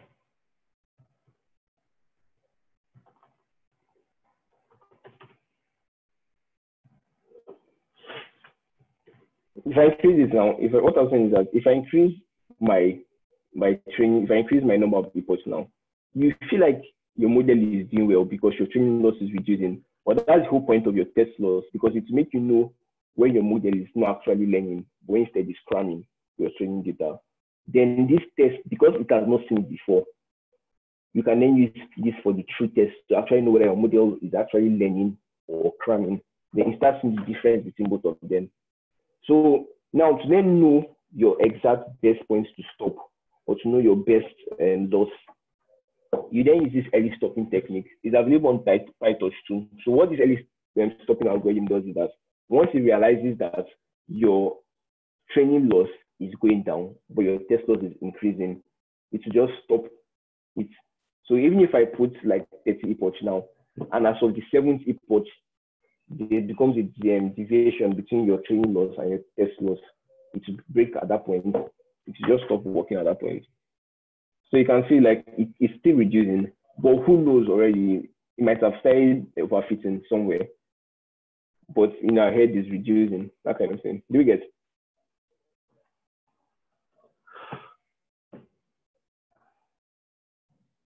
Like, is it clear? Is this unclear? Pause. Yeah, it's Okay. Yeah, yeah, it is. Yeah, it's clear. Okay. Um, let me open the next one. I'm not sure if we. Sorry. Maybe there's anything there that we need. Is.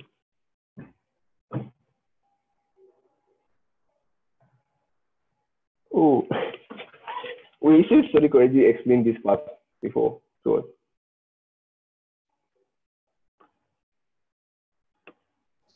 Yes, it did. And Okay, it's okay. not bad you're explaining again. It's Okay. I more see. Yeah. Do we know about regularization? Regularization. Drop um but let's just look at this one. If there's anyone that we don't know about, let me try and explain because um, regularization is important, dropouts are important, um, random stuff is important, branching gradient descent. I already explained this one. Then batch versus stochastic gradient descent. If there's anyone that would understand, you can talk about it.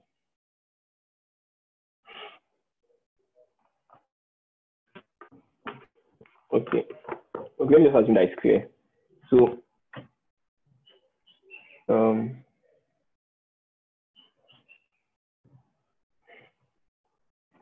so the next one, I'm, what I'm going to do now next is to, oh, this thing might, I don't think I'll have to, because of time, let me just see, sure. but I don't know if I'll be able to download the data set. I'm coming.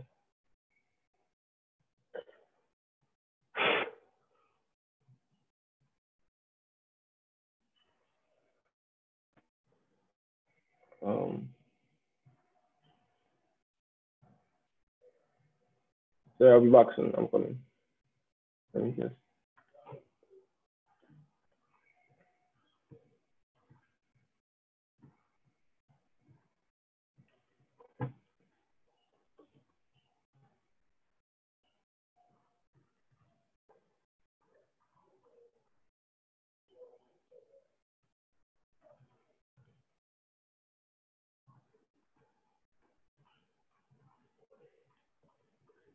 Okay. Wow. Okay, seems like this. So I, I think I know where the issue was. Why that thing was slow. Okay. Okay.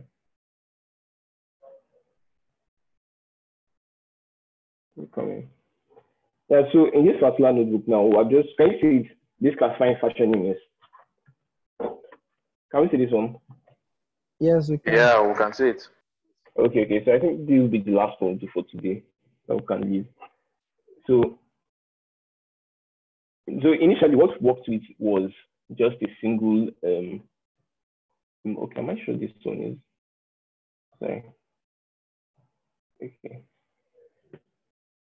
Okay, this fashion image is still, it still is um, single channel image though. But at this point, what we're going to then do, the difference between this and what we've done is that we're now going to separate our data sets into train and test. So we can then we can then do that stuff you mentioned. So it's best to know your training loss and to also know your test loss so you can know when to stop. That kind of thing. So first thing to do is to um, specify your transforms. I say it in the initial um, notebook. So you create a transforms. First of all, I want to convert my images to tensors. Then after converting to tensors, I want to normalize them. So this is the function for normalization. So like I said, um, provides some free data sets. So what you just need to do is to import data sets and then data set dot Fashion-MNIST. So this is where I want to save it here. That's what just that's what this one is. Where you want to save it, then specify download through, then train through, and then put your transforms. Then for the train loader, what you just need to do is to then add your train sets into PyTorch data loader. So like I said, PyTorch data loader puts your data set in batches. So in this case, batch size of 64. But I'll just use 32. You can use 32 actually, whichever batch size you want to use.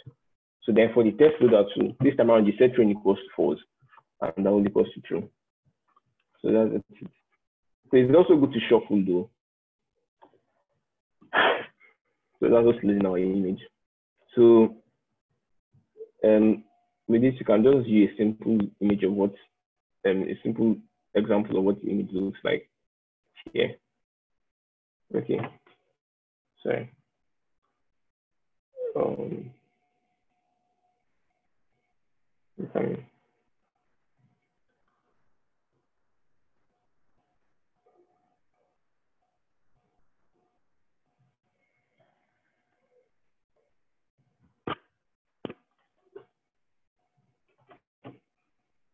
okay. um, helper.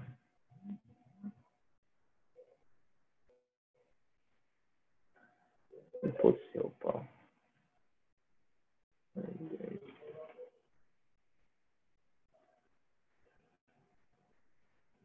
oh shit. Oh.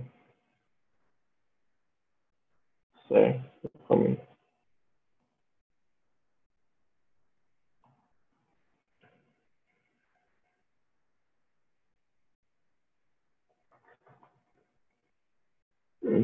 I don't why this helper function isn't working.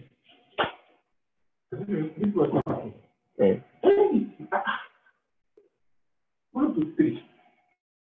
Sure. Sorry. So I'm wondering why this helper price isn't working. Is it?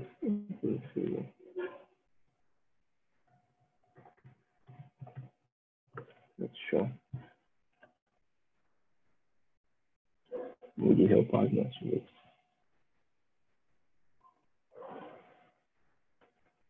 Um,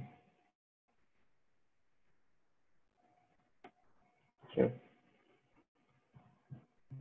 Sorry, let me just confirm this.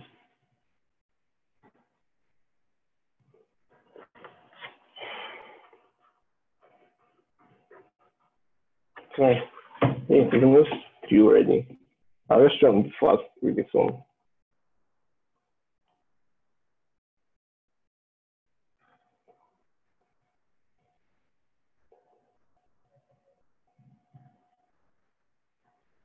Um,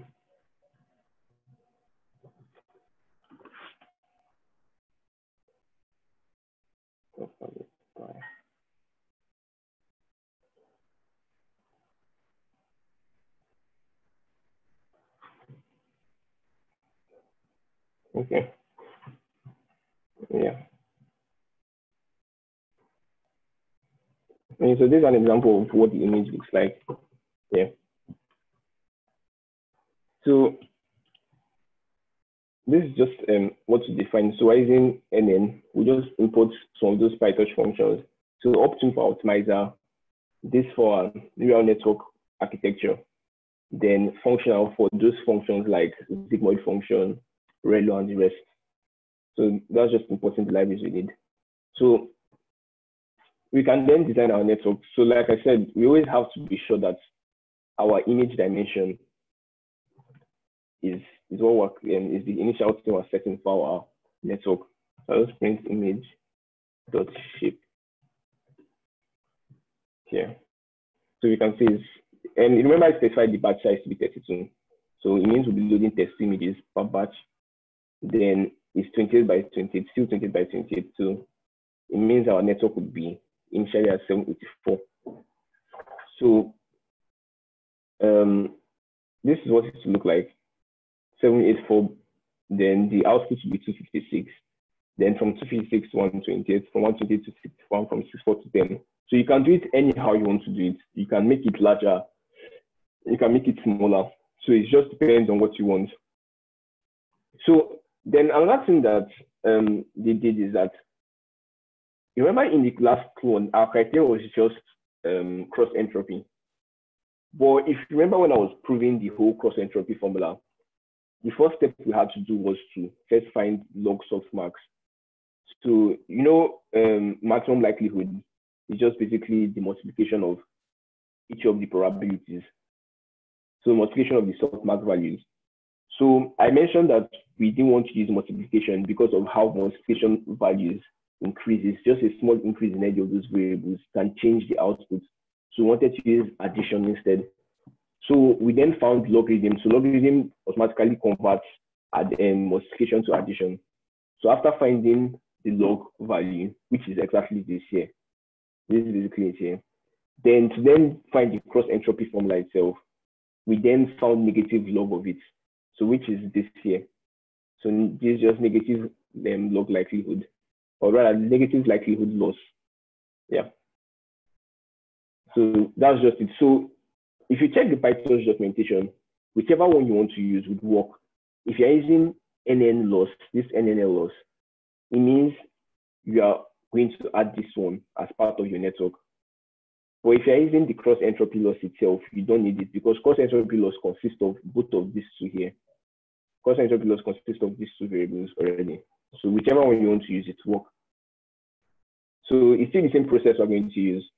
We're going to draw our criterion, set our criterion, then our optimizer too. In this case, remember I mentioned Adam optimizer. So I'm using Adam optimizer this time around, this stuff stochastic gradient descent optimizer. So now we're going to build, we're going to um, go through 10 epochs. So like I said, the first thing is to go through each batch of your image. So for each epoch now, the first thing is to iterate through the first batch. So even though I'm going to iterate through all the batches, so I'm just going to use one to explain. So for the first batch now, we load the images and data set from the train loader. Then we flatten our image. Like I said, it's very important for us to flatten it. And after flattening it, we then pass it into our um, model, our model network. So pass our image and then get our output. So our output will then be the logit, which we then compare with our labels. So using our criterion, which is our loss function. So after comparing it, to get a loss. So that loss is like the difference between the actual values, actual class values, and the predicted values from our model. So now we've got our loss function. We then want to, um, there's something that is missing here, but I don't know if anyone remember and tell me. So what I said is, okay, okay, no, no, it's not actually. They put it here this time around. So is this optimizer to zero_grad? Like I said, this is very, very important. If not, we just be wasting our time. So we have to clear our gradients. Then after clearing our gradients, we then want to find the new gradient, which is this for our current weight values. So when we do loss of backward, we want to then calculate the gradient for each of the weights we've used throughout the network or forward propagation. So after getting the derivatives, we then can then use those derivatives to then perform our optimization step here. So when we find our optimization steps, we're now updating the weights now. So we now have a new weight. So this running loss variable is going to have the current running loss. So it's going to be the um, uh, what do you call it? It's just like adding the the total loss basically, but it's just for what do you call it? It's for for fraction purpose in this place here. I'm just going to use it to like not watch any loss. So this is just the training process here that we explain. So we can then train it.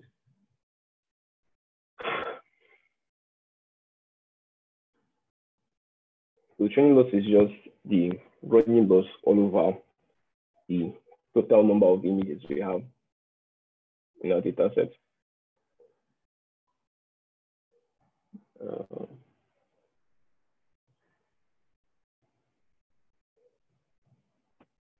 it is going to take quite a long time, so I'll just leave that in the training. But if you notice, this one will be better because we're using Adam's optimizer. Adam's optimizer is far better than stochastic gradient descent in terms of performance. Though. So then the next one now is for us to then do our um, test. So this is just it here. So first of all, we'll load from our test loader. So this is on image it has not seen this time around. If you remember when we were testing initially, we we're testing on the training sets of which we knew that definitely was going to perform well because you already knows it.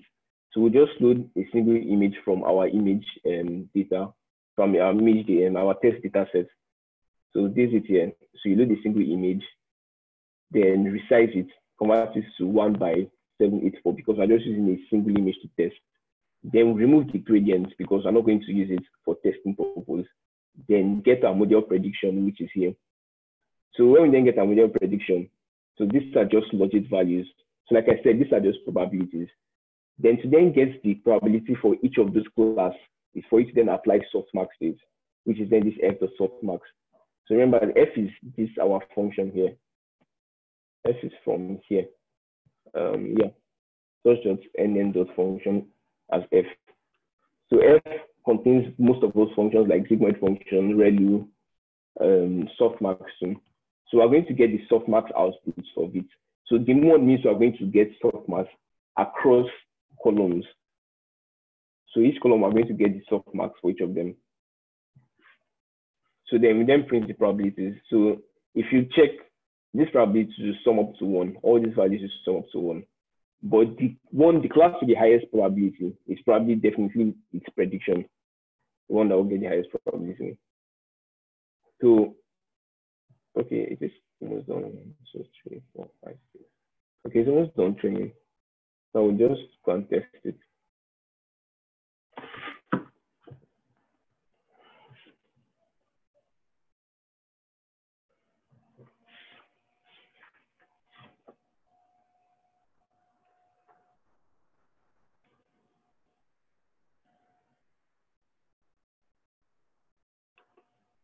Okay.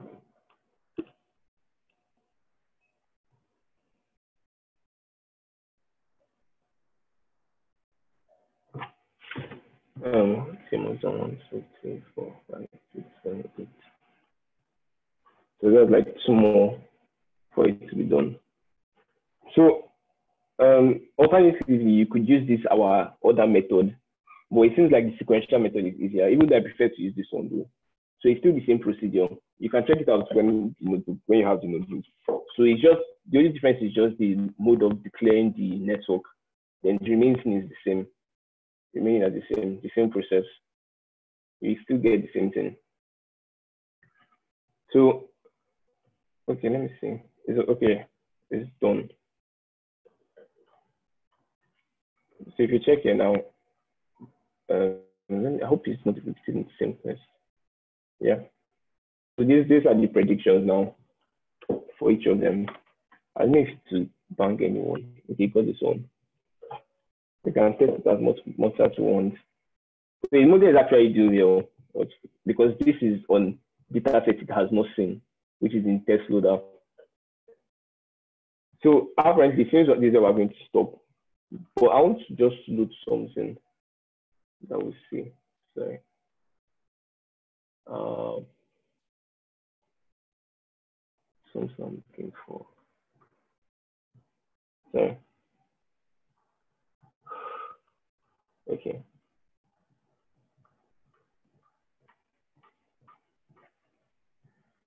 Then, um, sorry. Question. Week four.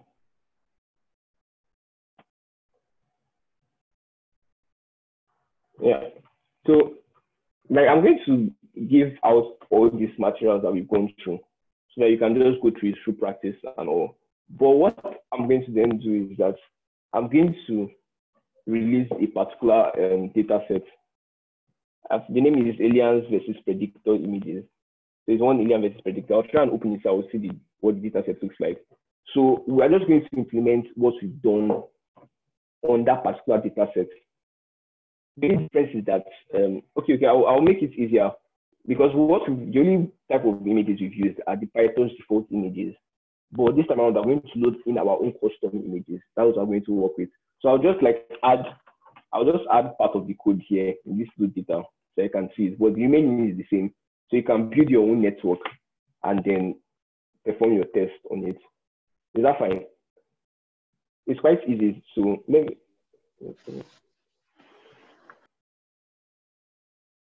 Hello.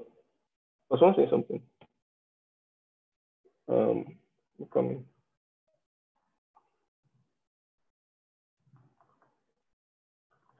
Yeah.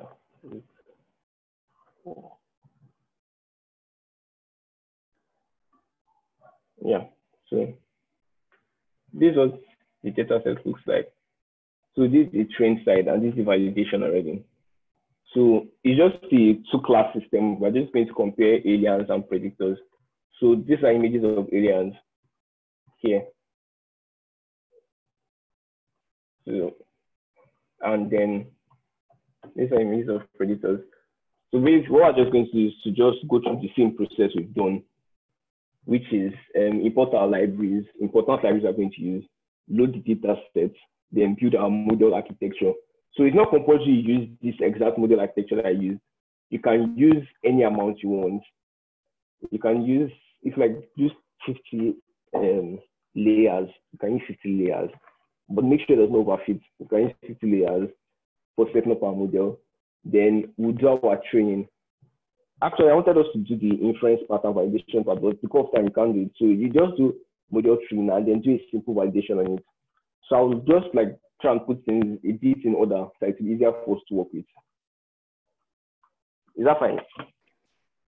And does Yeah. anyone Um. How how do we fine. get the data sets, the aliens and predators? Yeah, I'm going to send you everything. It's not large actually. The data set is not that large. It's something you can Okay. download. Yeah, so this All right. is zip file. So it's 7 MB or 7 MB. Okay. Mm. So do you have any lesson? Or is there any question or contribution or anything? Um, I have a question. Uh, it's not uh, really related to this class. I think it's from the previous class. Uh, I don't Okay. really understand the cons. I don't really understand the concept of um, maximum likelihood with the cross entropy loss. It, it's a bit fuzzy to me. Oh, um, okay. I don't know if anyone wants us to, but is everyone fine if you go through it? Let me. I think it's in this. is- There's planning in one of those notebooks that we use. Do I'm coming. Let me see. There's this notebook where where it explained it. Introduction to PyTorch. I'm coming. Yeah. So can can we also see this introduction to PyTorch then?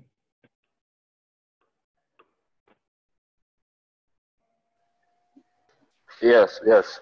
Okay, okay. So I'll just be fast because of our time.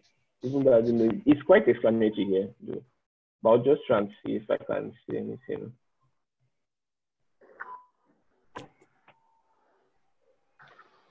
Uh, yeah, so this was the part I was explaining this here.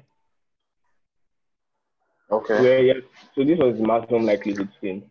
So how it works is that if you have, um, if you have like a data set now, so this uh, this part is for the blue side and this part is for the red side. So if he sees a red now, you know, if you look at it now, he expects blue balls to be in the blue colored side and red balls to be in the red colored side. So if you see a red colored Yeah. thing in the blue colored side, eh, it means that your model um, banged it, that kind of thing. So if you take 0.1 here, it takes 0.1 here. So Okay. what why it's called why, why it's called maximum likelihood is that you want to multiply the pro, all the probabilities together, so the higher the probability, the better your maximum likelihood. The higher the probability it is, the better your maximum likelihood, and more accurate your model is. So here it predicted a red ball. He called the red ball blue ball, but meanwhile it is red. So its rating or value will be 0.1. So you know 0.1 is very low compared to 0.9.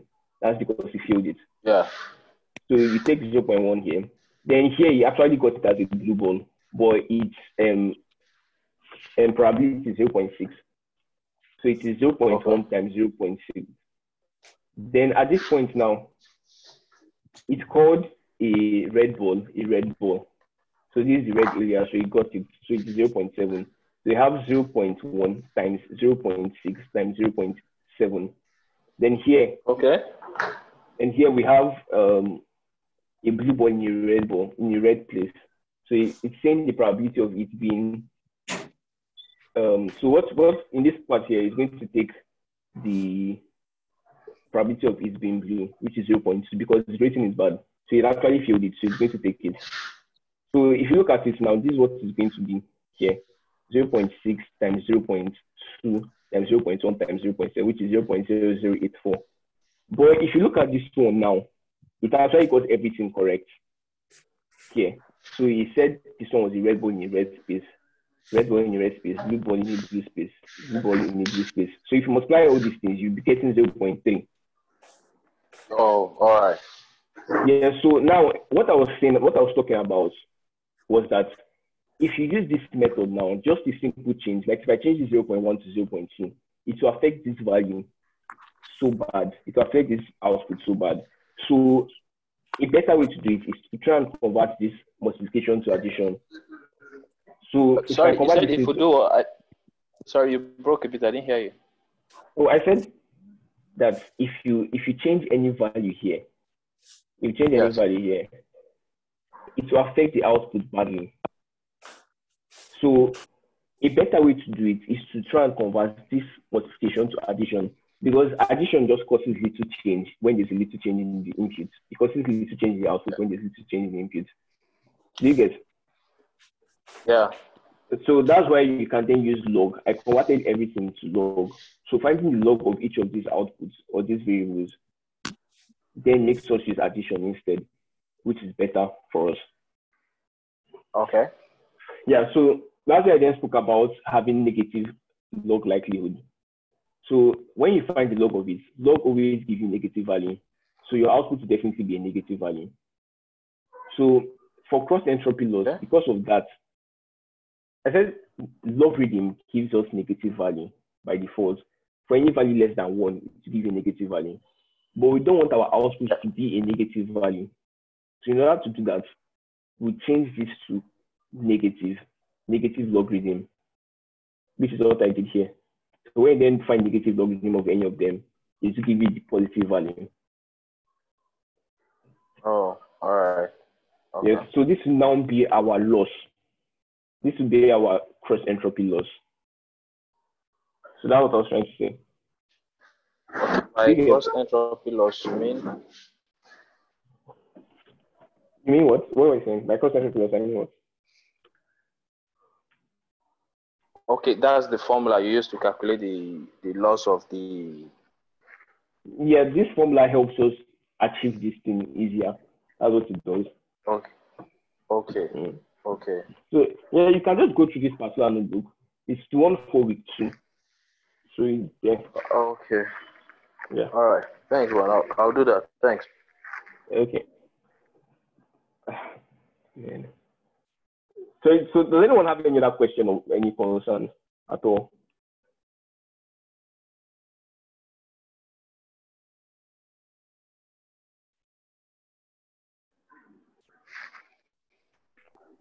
Nothing from here.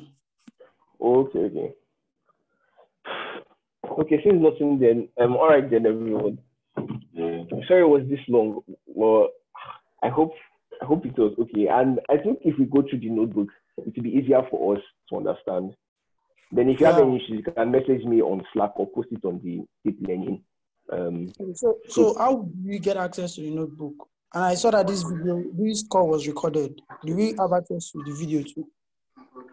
um, okay, I'm actually just saying that it's being recorded now, but I'll ask I'll ask them. I'll ask like Kinichi or Teju or anyone. Okay, so we can use it to go through the notebook again. Yeah, sure, no problem. Thanks. Yeah. All right, everyone. Then have a lovely weekend.